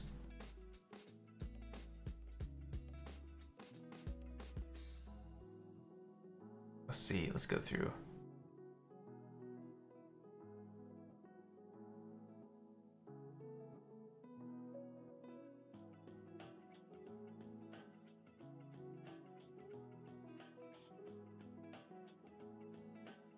All right. Bratique, you said you recently started learning Unreal without completing Blender to its full potential. Any advice or suggestions? Well, I'd say Unreal and Blender go really well together. So I wouldn't say that it's it, it, it's not like you started eating a meal, got halfway through, and switched to the next meal. It's not like that. It's like you can always come back and like that Blender will always be there for you. It's not like you have to move on and you're done with it. Blender and Unreal go so well together, just like C4D and Unreal go so well together. Um, because so much of the things need to be created, so many of the assets need to be created in Blender, animated in Blender, um, you know, stuff like that. And then that comes over into Unreal Engine where you kind of compile it together, light it, and you have your real time scene. Um, so I would say just keep learning what you find to be fun. And that's going to take you a long way. And if you are just all about Unreal, then go with Unreal right now. You just don't want to stifle your progress with indecision. You don't want to stop yourself, be like, oh, what's what should I do? What should I do? What should I do? It's like you're scrolling through Netflix for an hour and then you realize, oh, I gotta go to bed. I never figured out what to watch. Just learn something. Go go where your heart is, and then you'll be good. Blender ain't going nowhere. Let's see.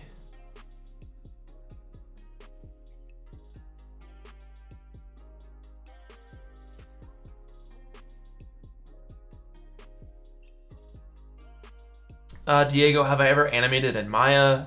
What do I think about it? Do I recommend it? I never have animated in Maya, but I heard that animation in Maya is like super streamlined, very easy. A lot of R&D and time has gone into making that program awesome because it is pretty much industry standard um, when you're working at a studio is Maya. Um, from what I've heard, it does well with like having a. It supports a lot of different departments. Um, so I know DreamWorks, right? So there's a one of the guys, Wade, Sir Wade, right? He has a YouTube channel, Sir Wade, and he taught Maya at DreamWorks. And another friend of mine, uh, Don Allen Stevenson the third, he did the same thing at at DreamWorks, taught Maya. Um, Sir Wade has a YouTube channel. Uh, Don Allen Stevenson the third has a YouTube channel as well. Um, and I know that Sam at Rokoko uses Maya a lot uh, for like a lot of retargeting and whatnot, and animating on top of mocap data and cleaning up mocap data. So it's definitely something that I'm looking to, and I think at a certain point, like it'll be helpful. I'm just not, I hadn't dug in yet. Soto, you want a recommendation on a random non VFX YouTube channel? Hmm. Shoot. Well, I think I gotta go to my like subscriptions here and see see what we're dealing with. Um non VFX God, this is a mess. Wow, YouTube needs to get their stuff together. This looks this looks rough. Hmm, Drumeo. I'm I, I love drums, so Drumeo is a great place to go if you're trying to like learn how to play drums. Oh, Adam Liaw, all right, for cooking. This dude, woo, he's one of the best. He's like the chillest dude I've ever seen on YouTube. Adam Liaw, that's A D A M L I A W. And he teaches you how to make ramen, like legit ramen. He has it's called Ramen School. Um, and he goes into it. It's like a multi-day process to make legit ramen. He also has uh, fried rice Fridays. He has like all these traditional um, recipes. He does a lot of Japanese cuisine. So um, oyakodon, which is uh, chicken and egg together with like a, a, light teriyaki sauce. He teaches you how to make your own teriyaki sauce. It's so easy. Um, and there's like onion. You chop the onion, kind of get it all going together. Um, and you got some like uh, some chicken broth. Ooh, ooh, so good, so good. Adam Liaw, definitely check him out. Let's see who else we got here. Non VFX related.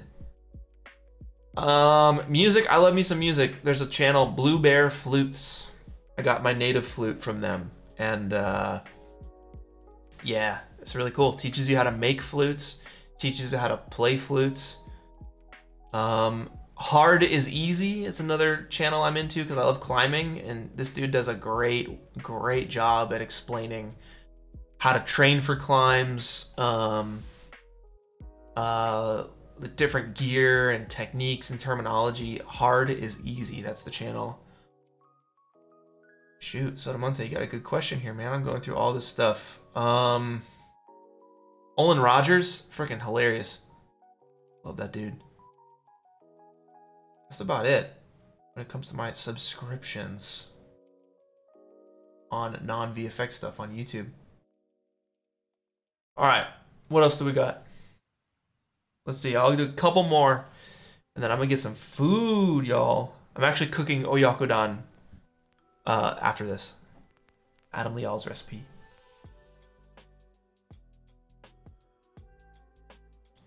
All right, Monk. Do you think AI will completely cut out 3D software, or any software for that matter, in the next few years, and everything will be done a different way? Question mark. I think AI is gonna change our industry like crazy. Yes, I do. Um, I heard the best talk ever at Half Rez in Chicago like three weeks ago um, from the CEO or was he was the guy who made School of Motion.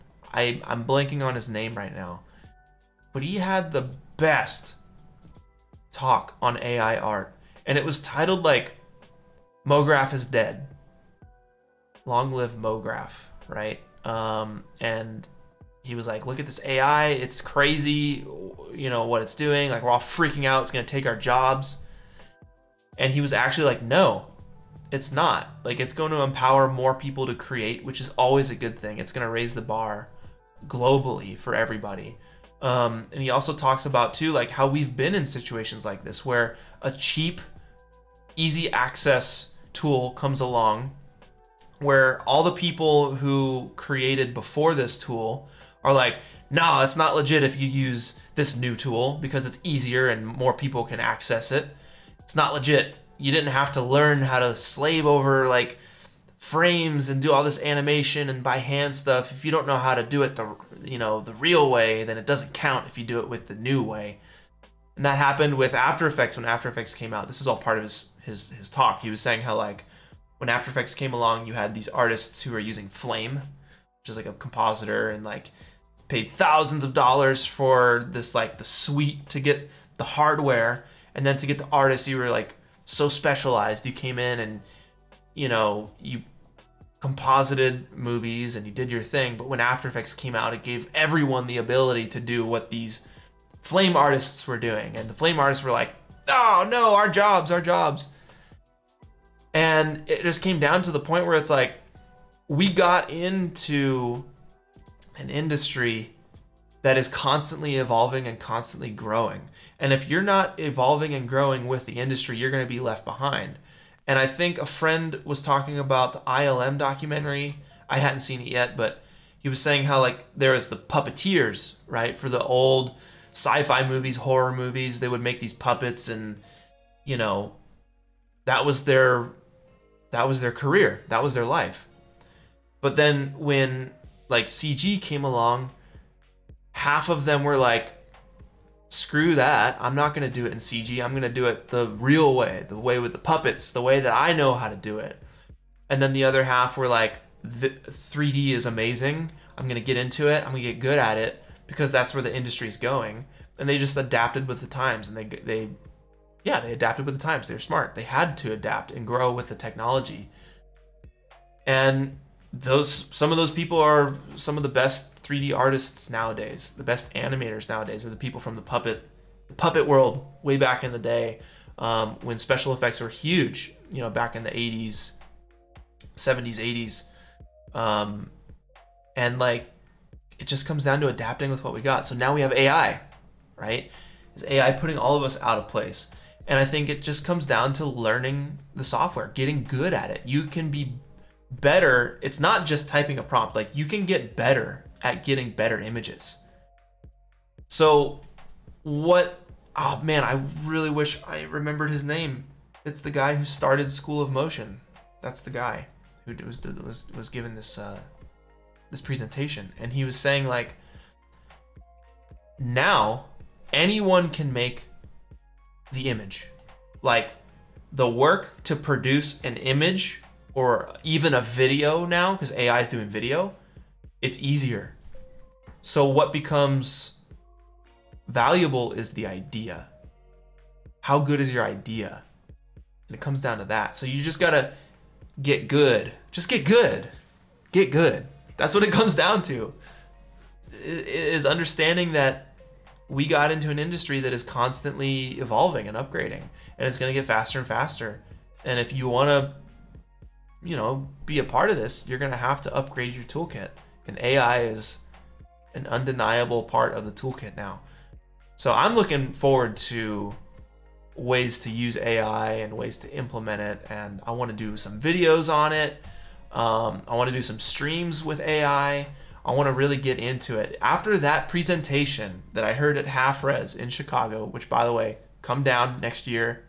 I, this was my first time there. It was awesome. I want to try and be there next year as well. Um, it's a one night meetup, you know, with presentations, um, games. Like it's at a it's at a bar in Chicago. Amazing. And uh, I, I was like, man, this presentation changed my outlook on AI. I was pretty nervous about it. I didn't feel good about it. I was kind of staying away from it. I'm like not taking it too seriously. I get scared like part of me is scared when like the industry is moving on without me and i have this like guilty scared feeling like the less because i know i need i'm procrastinating i know i need to get into ai i just know it and i'm lucky to have friends around me who are like at the top right now the top of ai right now corridor put out an awesome video like go check out that video corridor crew is their last video on ai amazing um so I got to get good. I got to step up. I can't be afraid of it. I got to dive in. So that would be my suggestion to you guys is get into it. Do your research, have fun with it. Oh, and with that, guys, I think I'm gonna call it. I gotta make this Oyakodon. Adam Liaw, check out his YouTube channel, L-I-A-W. Adam Liaw, check out his Oyakodon recipe. It's delicious. It's gonna be making over the next couple hours. But y'all, thank you so much for joining me. Thank you Sodamonte for hooking up the live stream, getting all of our guests working. Um, and uh, thank you to our guests. Thank you to you guys for joining me. Thank you to everybody.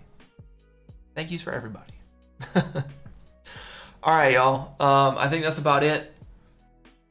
Have a good one. I'll see you uh, two weeks from now. All right, two weeks from now, we're back to regularly, re- regular, regularly scheduled programming. It's a video every two weeks, all right? So I'm doing that art breakdown for my moving meditations piece of art, all in Unreal Engine. I'll see you guys soon. Have a good one. Later. Peace.